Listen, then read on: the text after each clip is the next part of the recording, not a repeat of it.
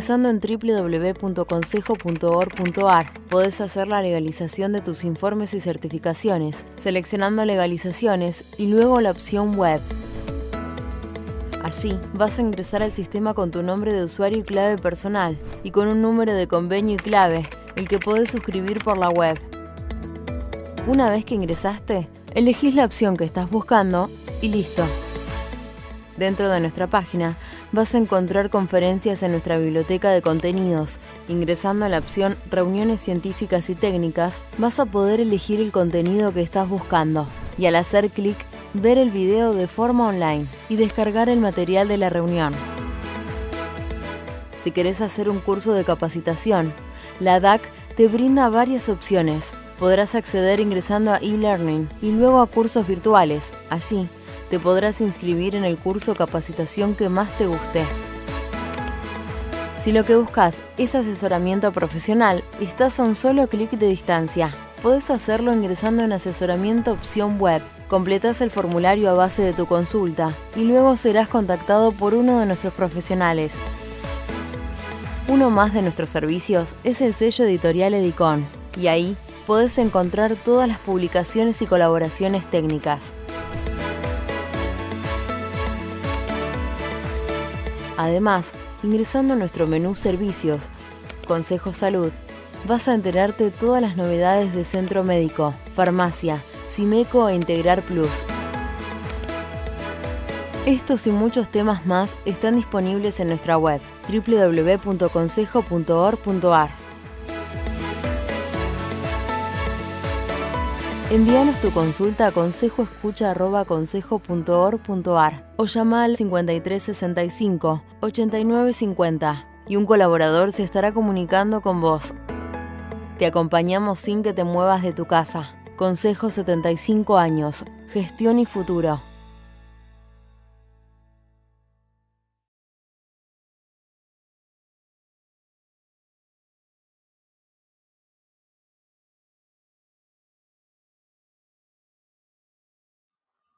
Bueno, muy buenos días a todos. Mi nombre es Romina Centurión. Em, esta es la novena reunión del ciclo para jóvenes profesionales. Estoy acá acompañada de Natalia Rodríguez y Jorge Pérez.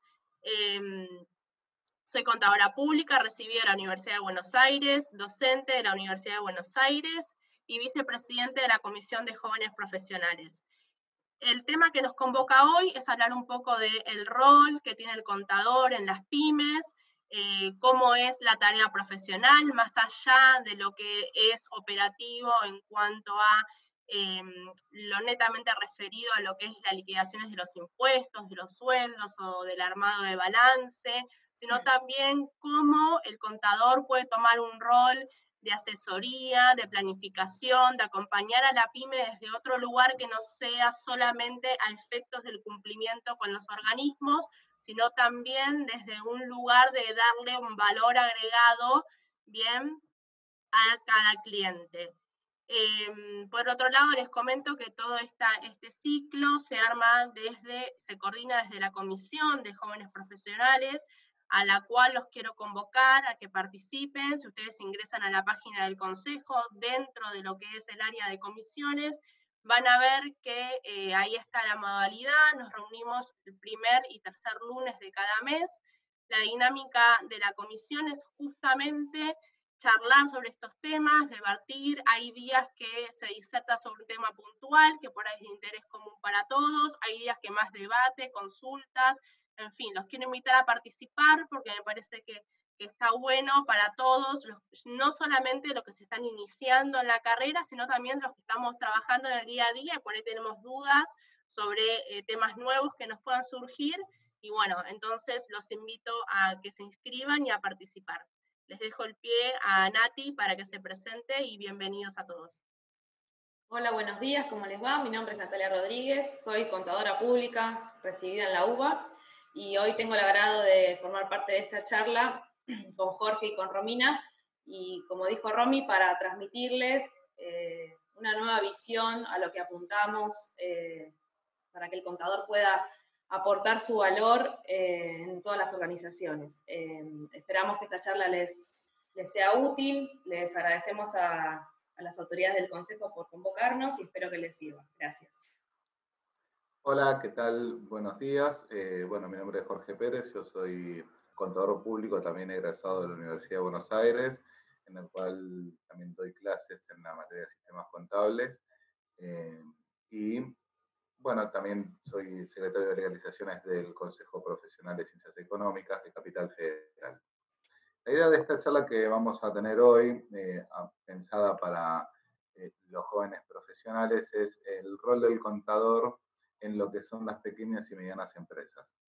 Desde nuestra experiencia, lo que le queremos compartir a ustedes es eh, una visión un poco más un poco más amplia de lo que estamos acostumbrados a ver hoy en día dentro de lo que es nuestra profesión, que es la de contador público, eh, para que nosotros podamos encontrar eh, o formar parte eh, de una organización de una forma más eficaz y de buscar un nuevo paradigma, un cambio nuevo en lo que es nuestra profesión, ir un poco más allá de nuestras tareas y roles habituales, que también los vamos a comentar, pero ir un paso más adelante, estar en la gestión en el día a día de todas las empresas, y para eso, ¿qué es lo que consideramos nosotros que es necesario?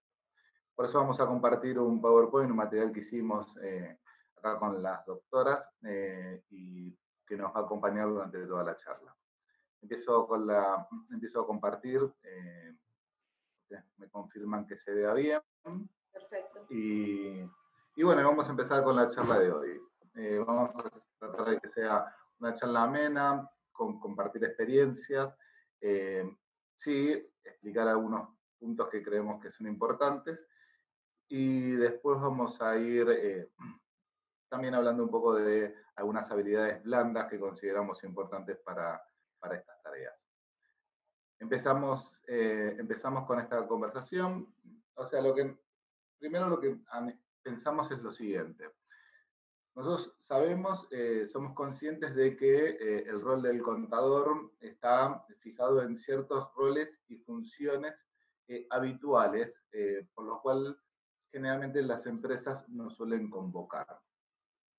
Sabemos que hay cosas que están directamente relacionadas con nuestra incumbencia y otras que, si bien no están directamente relacionadas con lo que es nuestra incumbencia,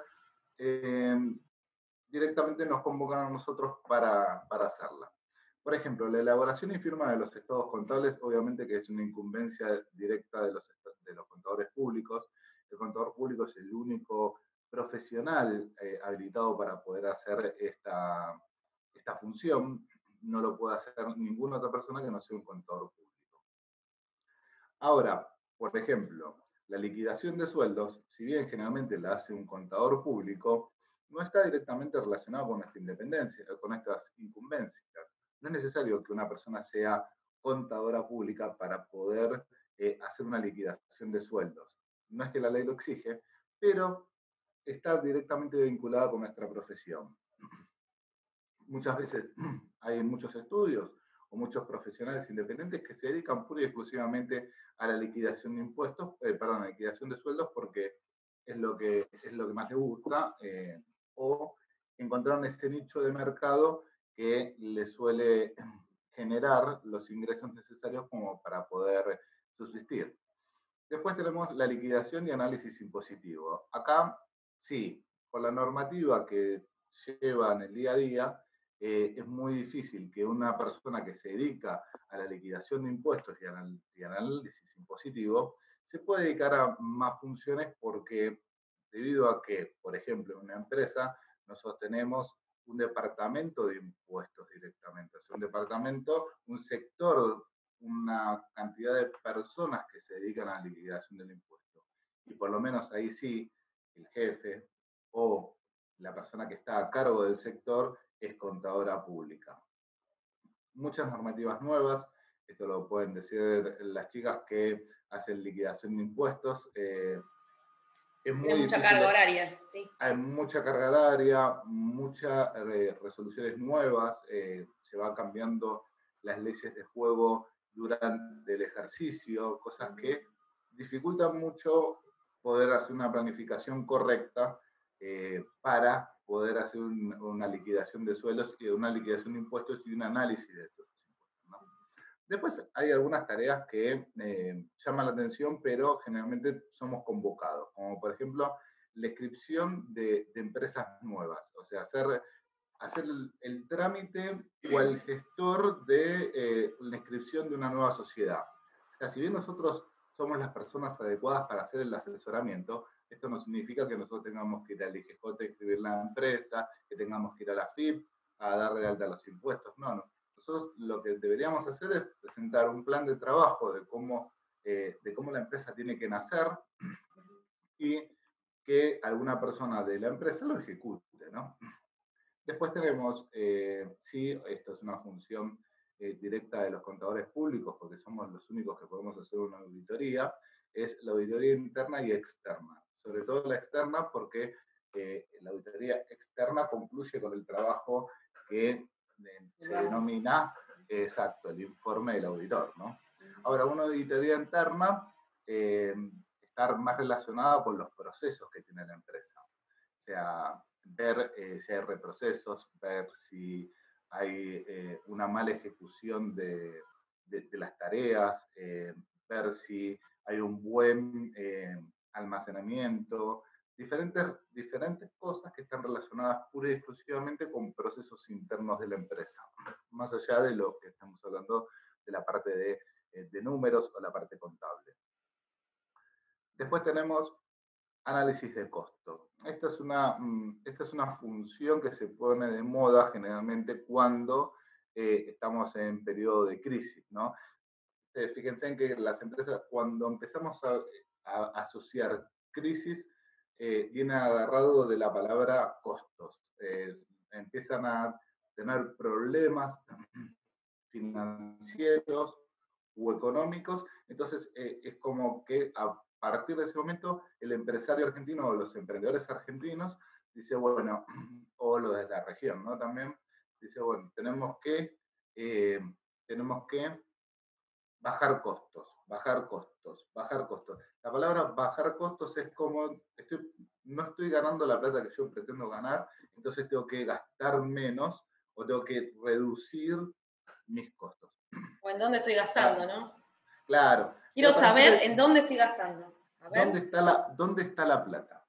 Generalmente está relacionado directamente con decir, yo mira, la verdad que facturo esto, facturo esto, facturo esto y no veo la plata. Generalmente, o sea, esto está relacionado con problemas en los cobros, con problemas eh, financieros.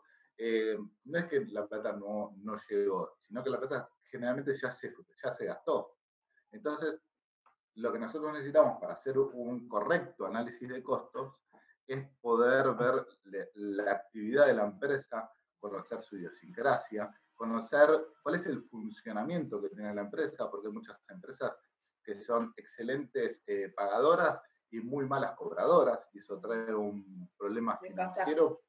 Claro, eso trae un desfasaje que después, tarde o temprano, lo terminás pagando vos eh, económicamente porque tenés que endeudar a tasas de interés eh, por más que vos tengas un buen o mal legajo en tus bancos, vos un interés lo vas a tener que pagar.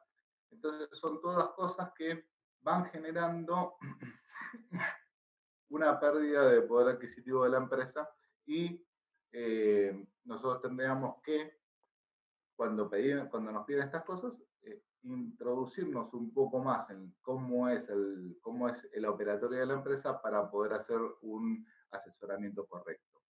Ninguna, ninguna persona que tenga más o menos eh, lo que se dice dos dedos de frente puede hacer un análisis de costos sin conocer la operatoria de la empresa. ¿ok? y después otra tarea que gracias a la globalización se está generando es el comercio exterior. Ustedes me dirán, eh, comercio exterior, ¿por qué está relacionado con nuestra profesión?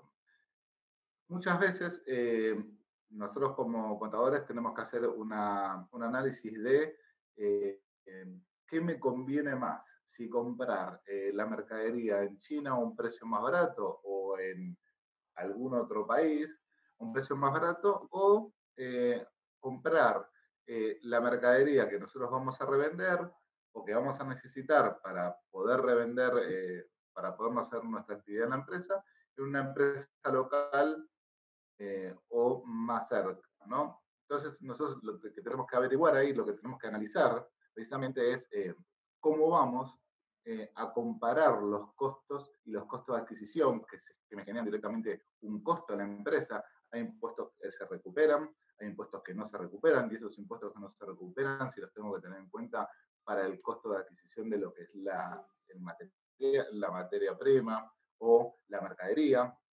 Entonces, muchas veces nosotros nos, nos sentimos o nos tienta algún tipo de, de precio del exterior, pero cuando terminamos haciendo un análisis vemos que tenemos que pagar tasas y estadísticas, tenemos que pagar eh, mm, a un despachante de aduana, tenemos que pagar eh, algún día de almacenamiento, o sea, todas esas, todas esas eh, gastos, costos que están relacionados con la importación y la exportación, muchas veces no lo tenemos en cuenta o las empresas no lo tienen en cuenta a la hora de evaluar cómo, van a, cómo van a adquirir sus productos para revender más para la nacionalización que otra cosa.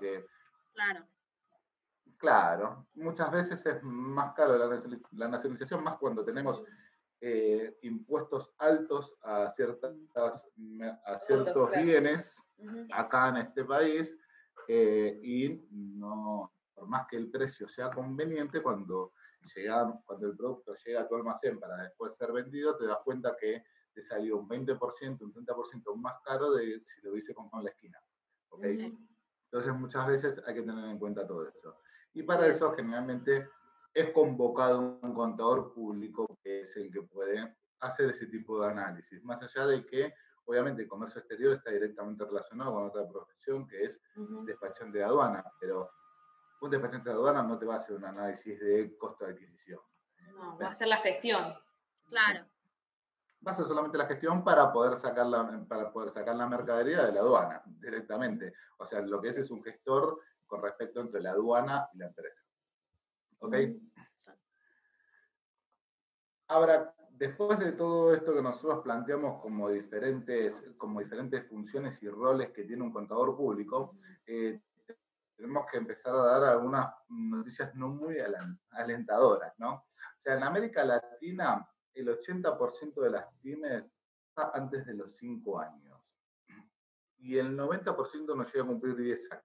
Esto no significa que el 90% eh, fracasa o quiebra, sino que se van transformando, se van fusionando o van cambiando su estatus de pequeña y mediana empresa a ser una empresa eh, más grande, en el mejor de los casos. Ahora, ¿qué, es lo que está pasando eh, en nuestro país principalmente o, que detectamos nosotros como eh, problemas de por qué una pyme no puede, no puede ejercer, no puede superar esta cantidad de tiempo. Y lo que consideramos es que el problema que se observa es la falta de profesionalismo que tenemos en las empresas, en las pequeñas y medianas empresas. Entonces, vamos a hacer un análisis a que nosotros profesionalismo o a qué podemos encuadrar dentro del concepto de profesionalismo. Primero y principal, este es un tema que vamos a hablar bastante durante toda la gestión, durante toda nuestra charla, que es la falta de liderazgo. Empezamos por ahí. Chicas, ¿qué opinan ustedes sobre el, liderazgo y la falta de liderazgo? Por el tema de la falta de profesionalismo, que es el punto anterior, esto es hay muchas pymes que son pequeñas, que por ahí no tienen una administración interna constituida y eso también influye, porque de repente por ahí son, o sea, los empleados que tienen son solamente operativos o comerciales, vendedores, porque al pyme lo que le importa es todo lo que es comercial, vender, y después ve cómo sale el tema del balance, los números y demás. Entonces, al no tener una planificación y al no tener un contador que lo ayude en esa planificación de tener una proyección financiera hacia el futuro, entonces es que por ahí también se quedan en el camino, se quedan en el intento justamente por no incorporar a alguien idóneo dentro de la pyme para poder empezar a gestionar y hacer todo ese trabajo que es sumamente importante. Normalmente nos, contratan, nos contratan solo como profesionales independientes para cumplir con las liquidaciones de los impuestos para poder continuar, pero no hay, como vos decís, una incorporación de un profesional idóneo en su formación dentro de lo que es la administración que le permite, que conoce todos los números de la empresa, que sabe cómo sentarse con el, con el dueño y planificar cuál es su visión, a qué quiere llegar. Claro. esto es lo que está faltando, a esto apuntamos con falta de profesionalismo, a, la, a que las pymes están, em, evitan de alguna manera, o para no cargar con mayores costos, incorporar un profesional a su plantilla que desde, desde dentro de la empresa pueda transmitir todo el conocimiento eh, y la formación que tenemos y que adquirimos durante toda la carrera en pos de los objetivos de la empresa. Entonces, como eso no sucede, normalmente contratan a un contador independiente externo que cumple, por supuesto, con lo pactado, con, la prestación de servicios que se pacta normal, liquidación de sueldos y cumplir con los organismos este, de gobierno y no hace, no, no hace, porque no puede tampoco eh, hacer más que cumplir con esa normativa. ¿no? Entonces ahí se ve normalmente la no previsión. Hay muchas cosas que no se previenen por justamente no hay profesionalismo y falta de liderazgo, entiendo, del, del empresario. Ahora, todo esto que ustedes fueron diciendo es todo lo que vamos a ir hablando durante toda esta charla y van a ser cosas que se van a ir repitiendo eh, a medida que vayamos avanzando y todo lo que, todo, todo lo que estuvieron comentando recién es el puntapié inicial de por qué llegamos a esto. Eh, muchas veces se considera un costo, muchas veces se considera un por qué voy a, por qué voy a meter un extraño dentro de mi organización. Eh, y hay diferentes miedos que tienen, suelen tener los empresarios o los emprendedores eh, de nuestro país. Y vamos a eh, tratar de hacer un análisis de esto sin escapar a, a todo esto que estaban diciendo ustedes. Cuando decimos falta de liderazgo, lo que nos estamos refiriendo a que generalmente las empresas eh, fomentan el, individualismo, parte con los empleados o no quiere compartir con los empleados cuál es la actividad principal o, mejor dicho, cuál es el, ese, e, ese, esto que tiene la empresa, que tiene e, e, esta parte que tiene la empresa para poder haber subsistido X cantidad de tiempo se entiende que yo no quiero compartir, no quiero involucrar a ciertos empleados, no quiero que involucrar a todos mis empleados, o no quiero involucrar a, mis empleados por miedo a que el empleado le robe la idea, por miedo a que el empleado sepa más de lo que corresponde o que entienda él que tiene que corresponder, que tenga que, que, tenga que saber. Entonces esas cosas generalmente terminan generando esto que llamamos nosotros el fomento del individualismo. O sea, yo sé algo que vos no sabes y no te lo quiero contar porque tengo miedo de que si lo sabes, eh, lo puedas, eh, el día de mañana si te vas, lo puedas vender, el día de mañana si te vas, eh, lo puedas, puedas hacer tu propia empresa. Entonces, muchas veces nosotros, por ese miedo, no compartimos y no mostramos una visión completa de la empresa el problema con eso, perdón, el problema con eso es que justamente esa falta de comunicación hace que la gente no se involucre, porque no ve el proyecto como propio, entonces va, cumple con el trabajo de, con un horario determinado, específico, y no da un paso más. No da un paso más porque no está involucrado, porque no sabe hacia dónde va. Entonces, esa visión de la empresa, del empresario pyme, al no compartirla con los empleados, por supuesto que hay información sensible que no puedes compartir todo, pero sí hay información que es necesaria comunicar para que todos se sientan parte y vayan para el mismo lado. O sea, la visión del líder de la empresa, que va a ser el dueño, por empezar el número uno y, y de ahí para abajo, o sea, esa visión tiene que ser compartida por todos, o sea, todo el equipo tiene que ir para el mismo lado. Entonces, en esa falta de comunicación es una de las grandes fallas que también después terminan en que no funcione todo como es esperado. Exactamente. Y aparte de eso, es muy difícil, si ahora que estamos hablando más puntualmente, es muy difícil que un dueño un, em, un sí, empresario o dueño de una pyme haga, eh, tenga, tenga la capacidad de saber delegar cuáles son los temas que puede delegar y generalmente termina siempre haciendo todo. Entonces, eh, de repente va a negociar el contrato más importante de la empresa y de repente lo ves eh, en, una, en la ferretería de la esquina comprando, eh, comprando una llave porque los cositos porque no porque sabe que no, no puede mandar a nadie porque él conoce los cositos. Entonces, siempre, siempre esta, esta forma de resolver los problemas eh, rápidamente lo que genera es justamente esto, o sea, es mucha carga, mucha carga también, ¿no? Mucha carga de, carga. de tareas eh, quizás rutinarias y delegables, innecesarias y delegables en alguien, ¿no? Exacto, o sea, no son cosas importantes y generalmente terminan retrasando todo porque están resolviendo ellos cuestiones pequeñas cuando eh, es como la persona que está controlando que no se le pase que no se le pase un ratón y se le pase un elefante. O sea porque estaba pensando que no se le pase un ratón. Entonces estas son las cosas que eh, generalmente nosotros consideramos una falta de liderazgo porque un, buen líder eh, tiene la capacidad para delegar no fomente el individualismo, bueno, pero igual después ustedes van a desplazarse mucho más en esto, entonces que no lo quiero, que no lo quiero tocar en este momento. Vamos a seguir con, con los la problemática de las pymes, que es la falta de profesionalismo, las diferentes cosas que nosotros hemos detectado. El equipo. El equipo se entiende por el personal que uno puede reclutar, ¿no? y muchas veces, ¿qué es lo que nos pasa? No podemos reclutar un personal competente. Es muy difícil eh, poder conseguir un, personal que, eh, como dijeron recién ustedes, se sienta involucrado en las empresas. Siempre lo que dicen es que la falta de, involucramiento, o sea, la falta de, de, lo que se dice en la jerga, ponerse la camiseta de la empresa, es de lo que se, generalmente se quejan casi todos los empresarios. Ahora yo siempre les pregunto, le digo, ¿qué haces para que esa persona se sienta eh, dentro de la empresa? O parte, exacto. Eh, los millennials, eh, los denominados soy millennials que están todo el día con el celular, se supone que no se involucran. Y la verdad que sí se involucran.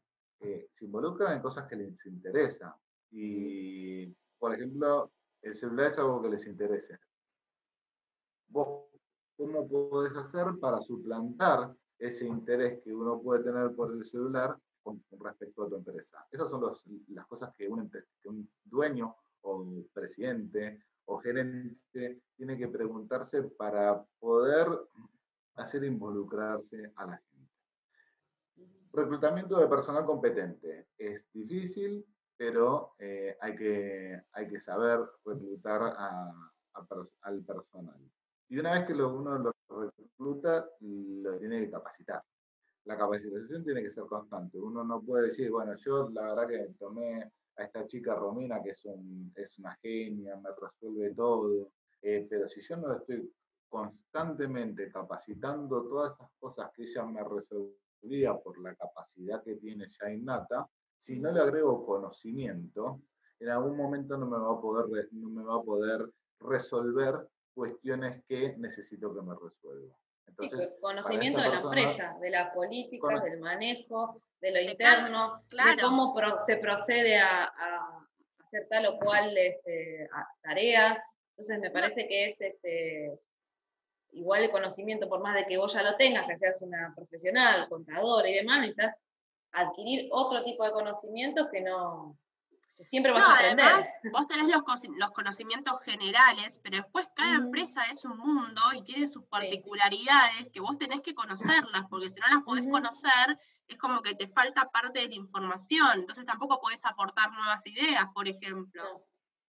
No, y, y, esto, aparte de conocer la idiosincrasia de la empresa, también estamos hablando que por más que vamos a un ejemplo claro y fácil. Eh, por más que vos seas un fenómeno liquidando impuestos, eh, si te cambian la reforma tributaria, o sea, necesitas saberla, necesitas saber los cambios y ya es, la empresa tiene que, eh, se tiene que ocupar de que vos estés al tanto de esos cambios y de que vos puedas hacer un, un curso que puedas reforzar tus conocimientos. Eso también, o sea, la, empresa tiene que involucrar a vos. Mira, salió esto, necesito que vos estés al tanto entonces te voy a, voy a mandar a hacer este curso, o te voy a mandar a hacer, me gustaría, mira, que extiendas un poco tus conocimientos eh, y como tenemos una relación, por ejemplo, comercial con una empresa brasilera, me gustaría que aprendas por lo menos un poco de portugués básico, no digo que seas una persona bilingüe, pero por lo menos que te puedas defender para tener una, para tener una conversación con, eh, con algún proveedor o cliente portugués. Eh, estas son las cosas que, a las que yo apunto. O sea, cuando digo falta de capacitación, falta de eh, esas ganas de que la empresa te empuje a hacer cosas que vos podés no saberla en este momento, pero que con tu capacidad la podés eh, adquirir. otro tema es la resistencia al cambio. Generalmente el equipo, cuando se siente cómodo, cuando está actuando en forma de comodidad, y aparece un cambio, empieza la resistencia. O sea, ¿para qué si así estamos bien? Eh, ¿Por qué tengo que hacer esto si yo de esta forma lo hago tranquilo, lo hago cómodo? Eh, muchas veces eh, los, la gente del equipo no tiene la visión completa de, hacia dónde va la empresa, entonces estos, cambios suelen tener su resistencia y obviamente el primer pensamiento eh, esto lo hacen para esto lo hacen para echar a todos, eh, esto lo hacen para eh, porque quieren todas esas cosas que el empleado siempre, siempre termina pensando si uno no comunica en forma correcta. Y estos dos ítems que nos faltan es el temor al asesoramiento externo, o sea, en pedir ayuda a un externo que nos pueda, eh, que nos pueda o eh, reclutar a gente competente o eh, darnos una capacitación o comunicar de cierta forma al equipo de trabajo hacia dónde queremos ir. tener en cuenta también es muy importante el tema de un salario justo. O sea, nosotros reclutamos una persona que sabemos que vale la pena, la capacitamos, eh, le damos todas las herramientas necesarias para que el empleado pueda hacer un, buen trabajo, eh, corresponde que, sea, que, tenga una, eh, que tenga un salario justo.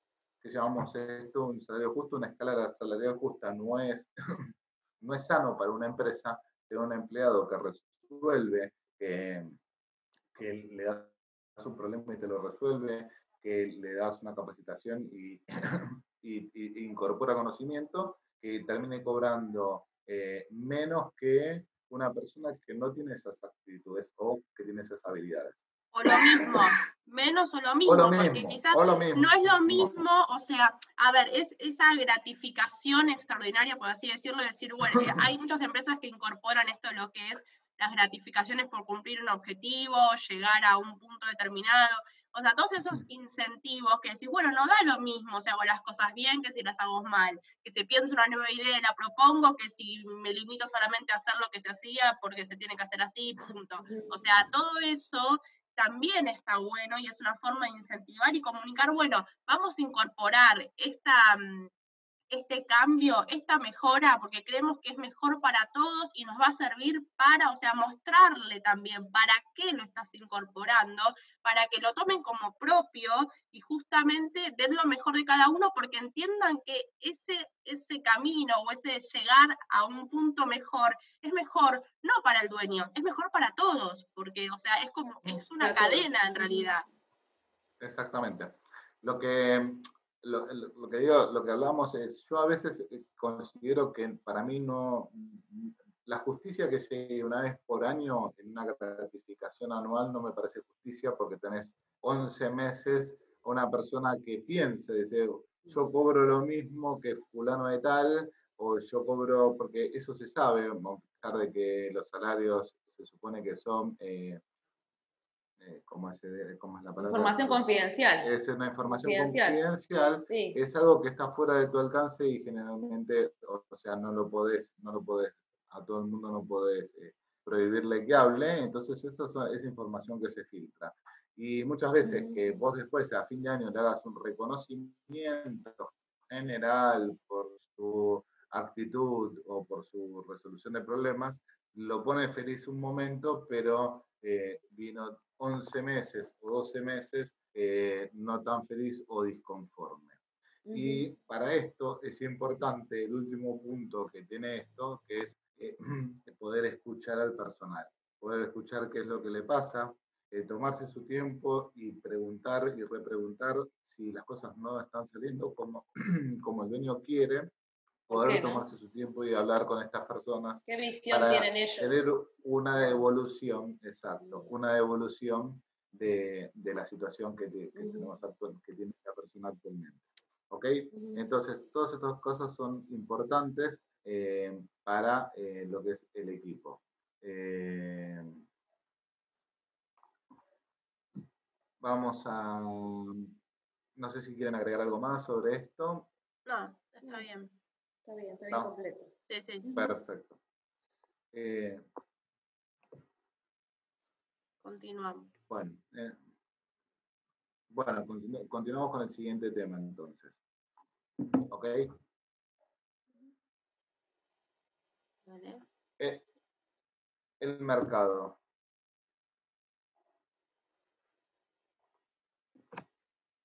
El mercado, acá lo, que vamos a plantear nosotros son diferentes cosas que pasan en el mercado general, eh, teniendo en cuenta eh, la postura de las pequeñas y medianas empresas que muchas veces eh, no pueden tener lo que apenas empezaron a hablar la charla, decía Romina, decía que muchas empresas no tienen lo que es el organismo de poder tener diferentes departamentos, por ejemplo de administración, para poder eh, ver eh, la empresa eh, y detectar ciertas cosas. Bueno, a pesar de todo eso, ustedes tienen que entender que un buen servicio de postventa es, es una llave de un futuro posible negocio.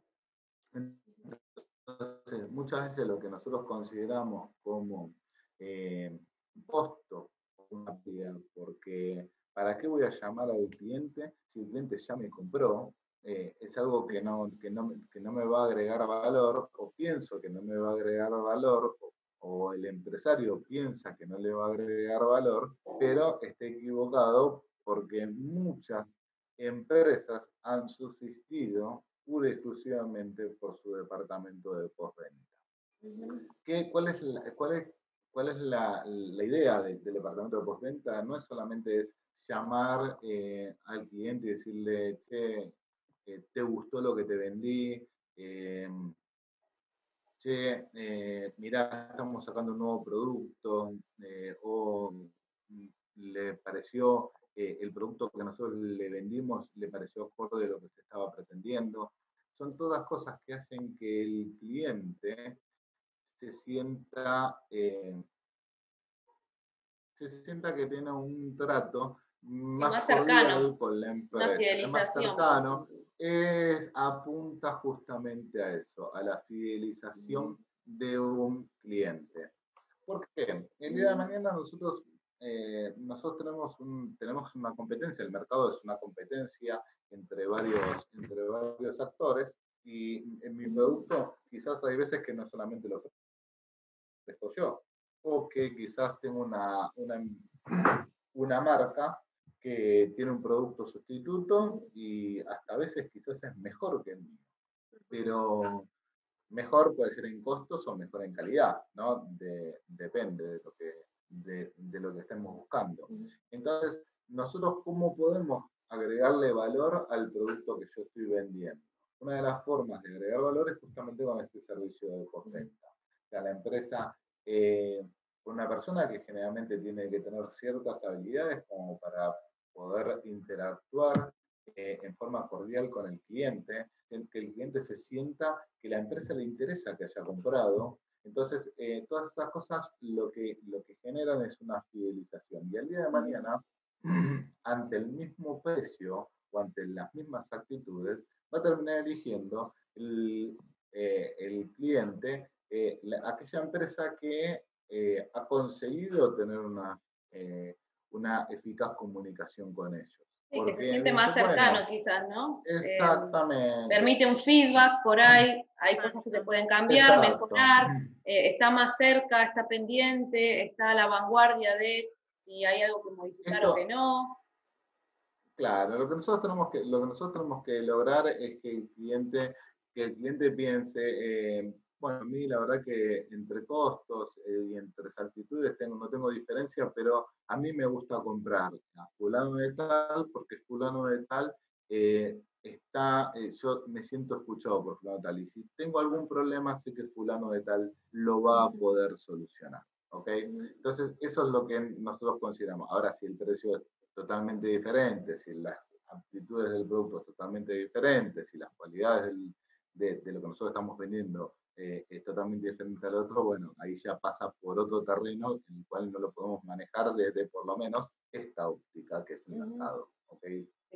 Otro de los grandes problemas que tiene las empresas es el falta un plan de ventas que a nosotros nos genere evitar esos problemas nacionales que, eh, que teníamos antes de, o que tenemos de picos, de ciertos picos que están relacionados directo con la actividad eh, que, desarrolla la empresa. ¿no? Entonces, tenemos, eh, no, esto está totalmente relacionado con lo que una de ustedes dos habló, que fue sobre planificación. O sea, yo cómo planifico mi año. Yo sé que por, el, por la, la, actividad que yo tengo como empresa, sé que, por ejemplo, abril y mayo es un mes que no tengo mucha facturación, pero noviembre y diciembre eh, facturo mucho más que los demás meses. Entonces yo ya sé que por mi actividad voy a tener esos picos. ¿Cómo hago para evitar esos picos? Bueno, pienso en abril y mayo, ¿qué producto o qué servicio puedo vender que sea sustituto, que me pueda sustituir lo que a mí me está faltando de facturación? ¿Hacia dónde puedo ir que me puede compensar esto? Piensen lo siguiente, antiguamente, o hace algunos años, eh, las heladerías habrían de noviembre a marzo, ¿no? Hoy las heladerías abren todo el año. Todo el año. ¿Por qué? Porque consiguieron un producto sustituto que en julio una persona que antes en julio decía, uy, me estoy muriendo de frío, que ganas de comerme un helado. No, pero te dan ganas de tomarte un café. Entonces vas a la heladería y te tomas un café. Entonces, eso es lo que, esto, eso fue un, correcto, una correcta planificación de ventas durante el año. O sea, yo disminuye mucho de, de diciembre a julio eh, tomar helado. helado exacto, el consumo de helado, pero el consumo de café no. Es más, se incrementa en los meses de invierno. Entonces vamos por ese lado, y hacemos un producto sustituto que pueda generarme un ingreso, necesario para esos meses que yo tengo para esos, para esos meses que yo tengo eh, un ingreso menor. ¿Entienden? Esto, a, esto es lo que, a esto es lo que apuntamos. Y después, bueno, la falta del enfoque al cliente específico eh, está relacionado también con la fidelización, o sea, necesitamos contactar a un tal cliente, yo necesito ofrecerle un, necesito convencerlo de que me compre, eh, todas esas cosas, eso también lleva todo un, un análisis que tiene que hacer la empresa, cómo puede ingresar en ciertos mercados o a ciertos clientes que le, guste, que necesite o que crea que es conveniente para su empresa. Otra cosa que no hacen las pymes es eh, la inversión en promociones, en investigación de mercado, todo lo que está relacionado con el marketing, porque se considera uno de esos gastos innecesarios. Porque, ¿para qué? Si así estamos bien, ¿no? Exactamente. Entonces, bueno, eh, eso, esto también está relacionado con, todo el tema del mercado. Hoy en día hay muchas fuentes eh, interesantes de, mercado que no, que no, que no insumen mucho, mucho costo, eh, pero hay que conocerlas y para eso hay que tratar de contratar a la persona idónea que nos pueda eh, comentar de qué forma podemos ingresar al mercado por vías alternativas. Antes el papel, una, una, publicación en una en una revista reconocida, era algo que llamaba mucho la atención o que te abre una puerta. Hoy en día esas herramientas fueron variando, fueron mutando más hacia lo virtual, eh, diferentes redes sociales. Eh, se, está, se está fomentando mucho ese tipo de, de promociones o de, de, lo que nosotros decimos marketing eh, relacionado con lo virtual. Es mucho menor en costos, por cierto. ¿no? Sí. Siguiente punto, la planificación. Bueno, acá la planificación vamos a tocar un popurrí de diferentes temas que son errores que suele cometer una pequeña y mediana empresa en nuestro país. Primero, o sea, eh, Acá eh, en Argentina y en la región lo que nos pasa es que no tenemos una planificación correcta de hacia dónde queremos ir. O sea, mm. el dólar aumenta, hacemos sustitución de, bienes. El dólar baja, esos bienes que sustituyeron lo tenemos que, lo tenemos que dejar guardado porque ya no nos van a comprar porque tenemos un dólar barato, entonces lo traen de China, eh, de Japón, de Taiwán o de, o de mm, el Machu Picchu y le sale 10 eh, veces más barato que el producto que yo compré cuando el dólar estaba caro. O sea, nosotros no, no hacemos un proceso productivo de servicio pensado eh, en otra cosa que no sea eh, el dólar sube o el dólar baja. No, nos manejamos con, por impulsos, parecería, ¿no? exactamente. Actuamos a medida de lo que se necesita, no existe la planificación, la anticipación, evitar inconvenientes contingencias futuras más que el dólar, es lo único que nos, estaría de alguna manera atravesando. Y sí, el empresario pyme mira mucho, pero el resto, a lo, el resto de los factores múltiples que existen en el contexto no se, no se tienen en cuenta. De alguna manera, a esto es lo que apuntamos, porque si miramos todos los, los problemas de las pymes que mencionamos hasta ahora, la planificación atraviesa todo, planificación de recursos, planificación de ventas, planificación de cash flow, planificación de cobranzas, todo tiene que ver con la anticipación. Si pudiéramos de alguna manera, aunque el contexto sea de incertidumbre, que no sepamos qué va a pasar, porque nadie lo sabe, y sobre todo por estos tiempos, sí tener en cuenta ciertos puntos y ciertos este, eh, ítems para hacer una planificación, aunque sea a corto plazo, tres meses si querés, con tanto se hacía un año entero, hoy es imposible, tres meses por lo menos, tres meses, seis meses, para poder de alguna manera dar un plan de acción, cómo vamos a hacer, cómo vamos a seguir. Me parece que este es el gran eh, quiebre que podemos encontrar entre una pyme eh, que se adapta al cambio y que supera y que llega a su objetivo y una que eh, no.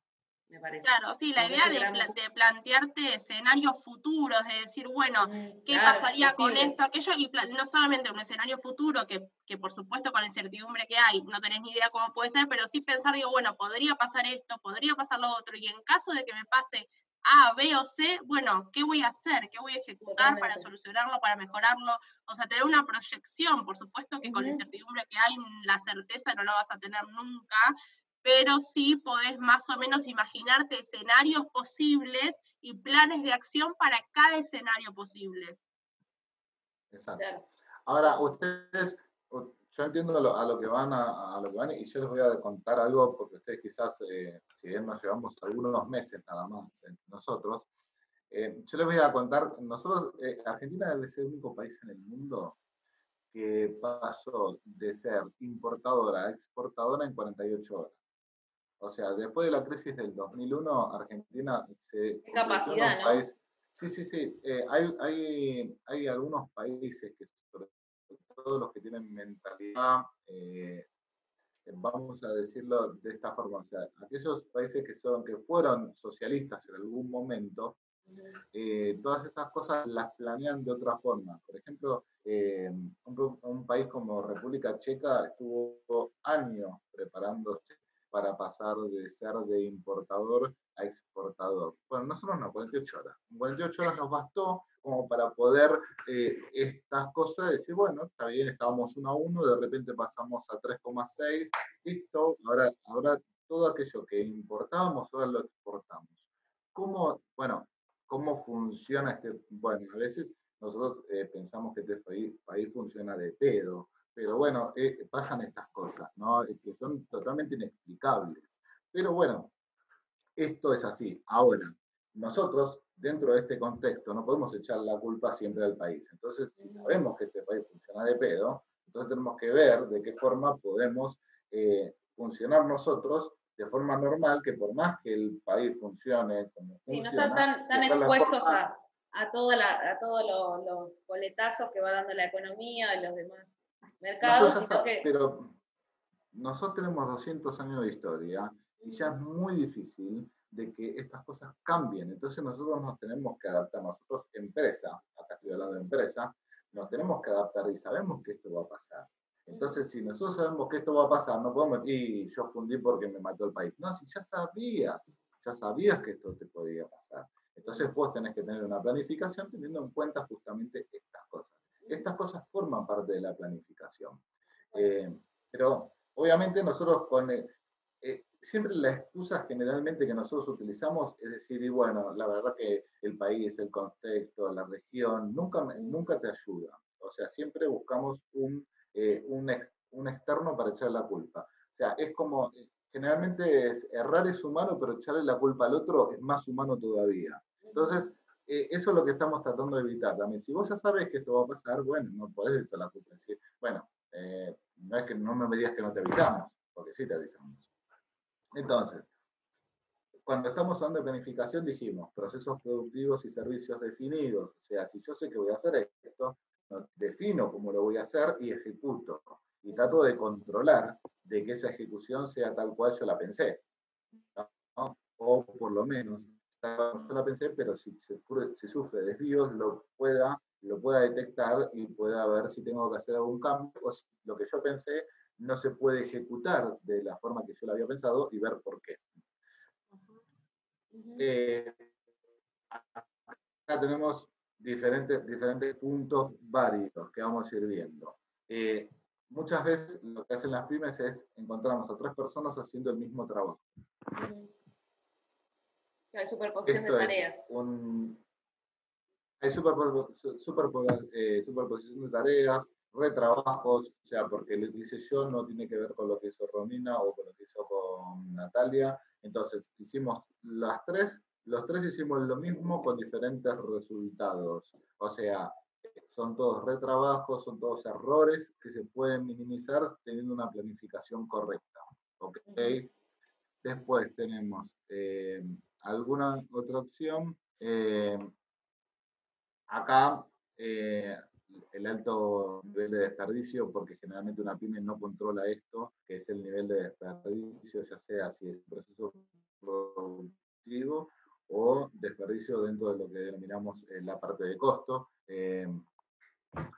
Después tenemos un mal manejo de, inventario. Este mal manejo de inventario está directamente relacionado con diferentes cosas que, que, nos pueden llegar a pasar. Eh, como por ejemplo, eh, no sé, cambiaron las leyes, cambiaron las leyes de juego. Ahora tenemos que eh, pasar a, como no podemos, la situación actual, por ejemplo. Yo, siendo una, una, empresa, no puedo comprar dólares. Entonces, ¿qué hicieron todas las empresas? Empezaron a adelantar importaciones. Sí, traigamos, traigamos mercadería porque tengo un dólar barato para poder ¿Y dónde la ponemos? Comprar afuera, claro. Y después cuando ¿Qué tenemos, hacemos ¿Qué hacemos con todo esto? Eh, no sé si me entienden. O sea, y ahora que, tengo toda esta mercadería, ¿dónde la meto? ¿Dónde la pongo? ¿Qué hago? Entonces, eh, no, esto es, una, es un mal manejo inventario, son costos que no tenemos en cuenta.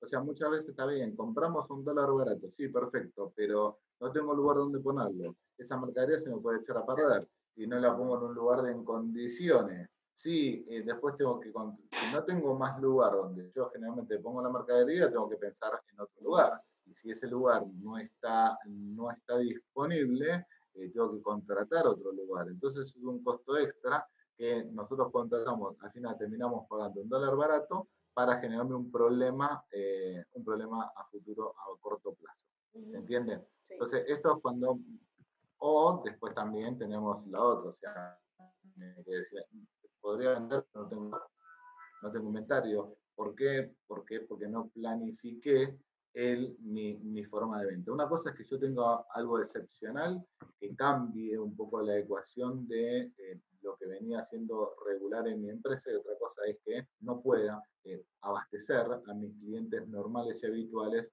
por una negligencia en mi manejo de. Esto Yo escucho todo esto, Jorge, perdón, escucho todos estos problemas y entiendo que eh, no solo la planificación y anticiparse, sino que es ver a la organización como un sistema, ¿no? Como no solamente sectores separados, el de venta vende, el de compra compra, el de administración registra y cada uno con una función, sino que de alguna manera es ver a la organización como un sistema que para que funcione y que llegue al objetivo y que todo eh, lleguemos al, el de venta que venda lo que quiere vender y cada uno cumplir a los bonos y a, los, este, a las metas anualmente. Claro, digo, necesitan funcionar como un sistema. Eh, las partes, la suma de las partes, que es lo que es gran, la denominación de un sistema, tienen que ir unidas y hacia un mismo lugar. Me parece que eh, ese es otro de los quiebres que no vemos en las pymes, que hay de alguna manera como sectorización y cumplimiento a lo sumo de metas eh, del sector, pero no hay una visión integral de la compañía, a, ver qué ajustes hay que hacer, porque estamos todos relacionados.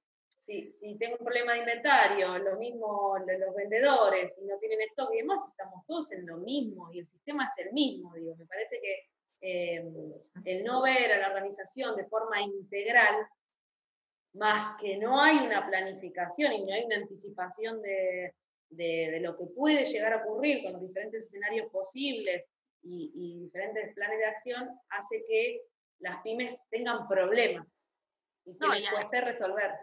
Además, necesariamente cada área necesita de la otra para funcionar, es toda una cadena, porque yo necesito del otro que me pase cierta información para yo poder gestionar lo mío y lo mío pasárselo al otro. O sea, por eso la, visión de sistema es fundamental. O sea, si vos no ves a la empresa como un sistema, como un todo que tiene que funcionar cada uno dando lo, que le compete a su área, pero sí en conjunto, yendo hacia una, un objetivo final y una visión común, es imposible porque en algún momento te trabas y va a fallar. Por eso es importante el tema de la comunicación, que todos sepan hacia dónde vamos y qué es lo que el resto necesita de mí y yo necesito del resto para poder funcionar. Totalmente. Claro, hoy en día es inviable una excusa de decir no, no sé si es inviable, o sea, no, no puede existir una empresa, no puede subsistir una empresa que no tenga una buena comunicación. Eh, no pueden ser departamentos estancos, eh, cada uno en su sector y cada uno haciendo y después le, con el dedito acusado decir, bueno, yo vendí, pero le compré, no compró. El de compra dice, yo compré, pero el de finanzas no pagó. Claro. El de dice, yo no pude pagar porque el de cuentas a cobrar no cobró. Entonces se van pasando la pelota, van pasando días. Y van pasando los clientes a otras empresas. Entonces lo que nosotros planteamos siempre es una estructura, una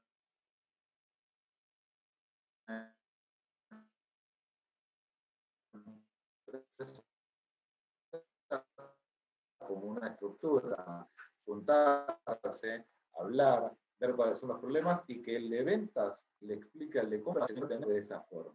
¿Se entiende? O sea, más allá de lo que estaban comentando ustedes, hoy en día creo que es eh, casi inviable tener eh, una empresa que, que, no tenga esa comunicación. Va, inviable para nuestro mercado, ¿no? Otra de las cosas importantes que, que, ya lo fuimos tocando así muy por arriba, eh, nosotros las pymes o las las empresas que subsisten, las pequeñas y medianas empresas que subsisten son aquellas que eh, accionan sobre el mercado y no que reaccionan sobre el mercado. O sea, aquellas empresas que en la jerga se puede decir que están un paso adelante. Esas empresas que están un paso adelante tienen un valor agregado muy importante. No es que sacó, bueno, decidimos que ahora no se puede comprar dólares eh, y tenés tres, dos, tres o cuatro meses pensando cuál va a ser tu solución como empresa. No, la empresa ya lo tenían resuelto hace dos meses atrás porque se la habían venido. Esa es la diferencia entre reaccionar y accionar sobre el mercado. Y obviamente eh, lo que nosotros veníamos diciendo, eh, y, lo sostengo, es que las empresas no piensan estratégicamente, sino que improvisan. El ejemplo que, que di yo de que fuimos exportadores a, de, importadores a exportadores en 48 horas, esto es un claro ejemplo de eso. ¿ok? ¿Qué pasa con el tema, con, una, con un, eh, departamento externo, eh, vamos a llamarlo departamento, eh, que son nuestros proveedores? Obviamente que son necesarios para nuestro trabajo, obviamente que son necesarios para nuestra actividad. Entonces nosotros tenemos que hacer diferentes cuestiones, pensar estas cuestiones sobre todo con el, en fin de beneficiar nuestro trabajo. Muchas veces las pequeñas y medianas empresas le compran a Carlitos SA, porque a Carlito lo conozco toda la vida. La verdad que Carlito, la Carlito, yo me crié con Carlito. Estuve con Carlito, mira, nos conocemos de pibe con Carlito. Y resulta que Carlito eh, tiene el precio 10 veces más caro que Juancito. Pero como nosotros pensamos que Carlito, como se crió con nosotros, eh, nos va a hacer un diferente precio, eh, quizás Carlitos eh, no piensa lo mismo que nosotros. Entonces, muchas veces lo que nosotros tenemos que hacer es una evaluación y un seguimiento, tanto del proveedor como de los precios. Y cuando digo, cuando estoy hablando de la calidad del producto de los precios del producto, no solamente el precio. Después, eh, tenemos que tener una política de pagos clara. nosotros no podemos pagar cuando el proveedor me llama nosotros tenemos que saber tener un proyectado, un cash flow correcto para saber cuándo estamos, cuándo estamos en condiciones de poder pagar. Y si sabemos que tenemos eh, el dinero para poder pagar, usarlo a la, ventajosamente en el momento de la negociación. El poder, eh, el poder del dinero, eh, del líquido, el, poder del valor líquido del dinero es muy importante, sobre todo en esta, en esta ocasión de que casi todas las cadenas de pago están rotas, eh, una persona que tiene eh, a, disposición el dinero cuenta con una, con una, ventaja comparativa con el resto y puede, puede hacer una mejor negociación. Lo que habíamos hablado también sobre eh, el alto mantenimiento del costo de, para mantener el stock. Muchas veces nosotros compramos mercadería de más eh, o porque desconocemos si la tenemos o no. Entonces, eh, muchas empresas que hacen servicios o que hacen producción eh, tienen que tener un inventario de los productos que necesitan para poder producir casi al día. O sea, es tan importante como la mercadería que compramos para la reventa. Eh, yo necesito saber qué tengo en mi taller eh, y no lo más fácil es ir y comprar siempre. Pero resulta que eh, ya tengo lo que fui a comprar, pero como lo tengo tirado en el taller, no, no sé que lo tengo. Entonces las cosas que están tiradas y perdidas no las tengo. Es así de fácil. porque no sé dónde ir a buscar, no la tengo contabilizado, no lo tengo registrado, no lo tengo rotulado. Entonces, todas estas cosas a mí que me generan un costo adicional porque termino comprando algo que ya lo tengo, que cuando la última vez que fui a comprar, compré de más por si necesitaba. Y siempre utilizo la misma, la misma mentalidad. O sea, compro algo de más, necesito 10, bueno, voy a comprar 15. Ok, y esas 5 después aparecen, no las tengo más, más ni en el almacén, no las tengo más en el, stock, eh, las voy a buscar y, y no están entonces, todas esas cosas es un mal mantenimiento del stock. No solamente, generalmente uno cuando compra y vende productos, ese stock lo tiene más, eh, más, eh, más actualizado, más eh, fácil de interpretar, pero cuando hacemos servicios o cuando hacemos alguna producción, estas cosas suelen pasarnos porque le perdemos el hilo, porque no es un producto que compré y vendí. Mm. Y a esto es lo que apuntaba cuando digo eh, tener un procedimiento de compras para eh, no producir un sobrante o un faltante de stock. O sea, hay muchas, hay muchas empresas que dicen que no me falte la materia prima para, porque me para la producción. Si me para la producción, me para las máquinas. Si me para las máquinas, eh, después volver a poner en funcionamiento es una duplicación de costos. Entonces yo no, no, no me puede faltar, no me puede faltar materia prima. Perfecto. Eh, planificalo, conversar con tu proveedor para que el abastecimiento de esa materia prima, que es fundamental para tu actividad, no, eh, no falte. No, tenga, no falte.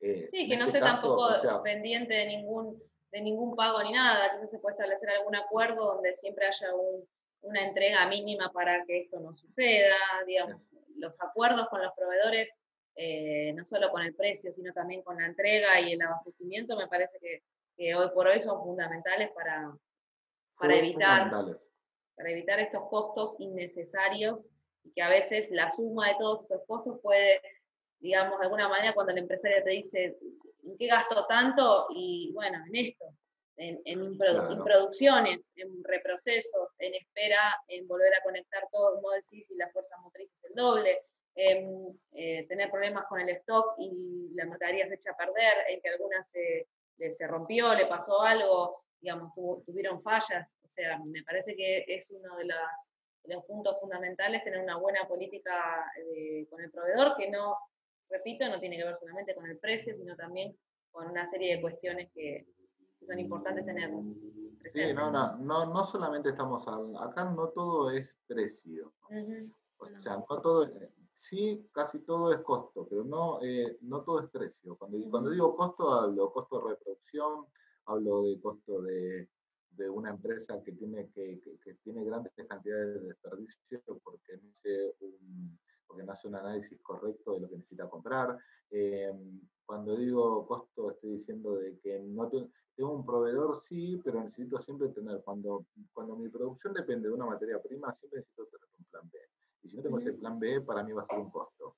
Eh, todas esas cosas son eh, muy importantes tenerlas en cuenta, tenerlas claras y poder transmitirlas porque muchas veces eh, lo sabemos, pero no tenemos totalmente transmitido a nuestros, a, nuestros empleados o a los empleados que forman parte de esa cadena de producción, entonces es como que no le prestan la atención necesaria que deberían prestar. Eh, no podemos parar la producción por la falta de materia prima. Es, eh, eso, una empresa subsiste por eso, o, por, o por no hacerlo. ¿Está claro? Y después, o sea, en lo que es, eh, en lo que, en lo que es toda la, parte que estamos viendo, que es eh, la parte de proveedores, también tener en cuenta de que mantener un capital alto, totalmente inamovible, es, eh, produce lo que nosotros denominamos una pérdida de eficacia y una pérdida de, de, poder estar produciendo ese dinero que yo tengo fijo ahí mirándome, eh, esto, a mí me puede producir eh, un tipo de ganancia que no la estoy aprovechando. Bueno, continuamos entonces. Continuamos en el siguiente punto. ¿Qué pasa cuando eh, todas estas faltas de resultado de gestión, o sea, todos, todos los diferentes puntos que estuvimos viendo, generalmente, ¿cómo, cómo, cómo llegamos a, a, la problemática de la falta de gestión, quién la detecta y, qué, se, y qué se hace. Esto es lo que hablábamos hace un ratito también. Generalmente, el dueño de la empresa se da cuenta que la empresa eh, tiene un problema en la gestión en el banco, cuando no tiene la plata que cree que debería tener. Entonces, eh, generalmente, ¿qué pasa? Eh, es la primera alerta esa. La primera alerta es, esa. estoy quedando sin plata, ok, a ver. ¿Dónde está la plata que debería estar en mi banco? ¿no? quizás esa plata ya se fue, ya se fue 10 veces la plata, pero bueno. Eh, esto lo que trae aparejado es que en vez de, en vez de diseñar, en vez de generar una alerta generalizada y ver los diferentes departamentos o diferentes, eh, diferentes eh, sistemas que tiene la empresa, eh, se apunta a resolver el tema en forma puntual. O sea, ¿por qué yo no tengo plata? Y porque el de cobros no cobró. Entonces voy a hablar con el de cobros, ¿no? Y el de cobros, tenemos que, en realidad el de cobros sí cobró, o sea, tiene su cobranza día. El problema fue que no se vendió lo que se pensaba que se iba a vender. Entonces tenemos que ir a hablar con el de ventas. Y el de ventas eh, le dice que sí, que vendió, eh, pero no pudo vender más porque no tenía mercadería para vender. Entonces, fíjense en todo esto que nosotros estamos hablando, eh, se va, se apunta. El sistema, el famoso sistema, ¿no? Se, apunta, eh, se apunta a cada sector en vez de tomar la organización en un sistema integral y global que sentar a todos a la mesa y decir, acá me falta plata. O no es, que, no es que alguien me robó, o sea, acá, acá falta plata de la gestión de la empresa. ¿Producto de qué fue? Y ahí están todos los actores intervienen y dicen, bueno, la verdad que yo no pude vender por tal motivo, yo no pude comprar por tal motivo, yo no pude eh, pagar por tal motivo y yo no pude cobrar por tal motivo. Entonces ahí eso es como una empresa gestiona en forma correcta para poder encontrar una solución en conjunto. Generalmente esto no pasa y cuando no pasa esto empiezan los problemas porque se toman... Sostienen en el eh, tiempo. Cuando estos problemas se sostienen en el tiempo, ya llegamos a una palabra horrenda, pero que es crisis, ¿no? Sí. Obvio. Entramos en crisis. Los problemas ya se mantienen y se forman crisis. Se transforman en crisis. Claro. Pero esto pasa porque generalmente se toman, se toman decisiones eh, individuales de, que que sean por un, por un problema, pensamos que es tal problema, entonces tomamos decisiones basándonos solamente en ese pequeño problema. Cuando esto es de manual, esto es eh, de, un manual, eh, estos errores son directamente de manual. Nosotros cuando perdemos competitividad, ¿qué hacemos? Bajamos los precios. Cuando bajamos los precios, perdemos que renta, eh, perdemos la rentabilidad que teníamos estimada. Cuando nosotros perdemos la rentabilidad que tenemos estimada, empiezan los problemas financieros, porque eh, yo pretendía tener un dinero que ahora no voy a tener eh, y armé toda mi empresa basándome en ese dinero. Entonces alguien va a no poder cobrar. Entonces empieza el tema de la cesación de pago hasta que en un momento llega a ser eh, directamente insolvente. Entonces es un, es un, el denominado proceso de crisis es casi siempre manual. ¿Por qué? Porque siempre para solucionar estos problemas tomamos las mismas soluciones. O sea, y no podemos pretender tener otros resultados si siempre utilizamos eh, las mismas soluciones. Así que eh, es un error clarísimo que suele pasar. Entonces, para todo esto, es importante que nuestra función como contadores empiece a tener eh, otro tipo de valor agregado, que es esto es el inicio de lo que nosotros estábamos hablando de la charla. Generalmente, nosotros ahora podemos no poder desconocer estos otros datos también. El primer profesional que contrata una pyme es un contador público. Así que indirectamente todos están relacionados con nuestra actividad. Ahora, si, los, si las pymes van a contratar o las empresas van a contratar a un contador público para, no para que no tenga incidencia en la dirección y en la gestión de la empresa, digamos que eh, el contador público va a estar totalmente eh, limitado en su trabajo a hacer sus cosas puntuales, que cuál, deberían, que cuál van a terminar siendo. El armado del balance, la liquidación mensual de los impuestos correspondientes y, y la liquidación anual de los otros impuestos correspondientes, la liquidación de remuneraciones, todas esas cosas que son trabajos operativos, repetitivos y que suelen generar un desgaste eh, en nuestra actividad. Y todos los cumplimientos de disposiciones legales vigentes, por ejemplo, si hay una inspección eh, y diferentes cosas que las atiende generalmente un contador. Ahora, nosotros lo que planteábamos era que este exceso de trabajo que se genera para nuestra profesión, o sea, que es mm, generar datos que son de escaso valor, eh, que sirven, no sirven para la empresa, sirven para terceros, el armado del balance es para terceros, eh, el cumplimiento de la remuneración es para terceros, el cumplimiento de los impuestos es para terceros, para diferentes organismos. Eh, yo acá pregunto siempre es si en realidad eh, el contador trabaja para la empresa o trabaja para los organismos de recaudación o para eh, directamente para el Estado. ¿no? Depende, ¿no? Entonces, claro, el que le paga seguramente es la empresa el que le paga, ¿no? Pero eh, no sé si ve, si, si, tiene la capacidad o está teniendo la capacidad de ver lo que la empresa necesita o solamente cumplir ¿no? con lo que le pide el cliente, que es eh, cumplir con los organismos, ¿no?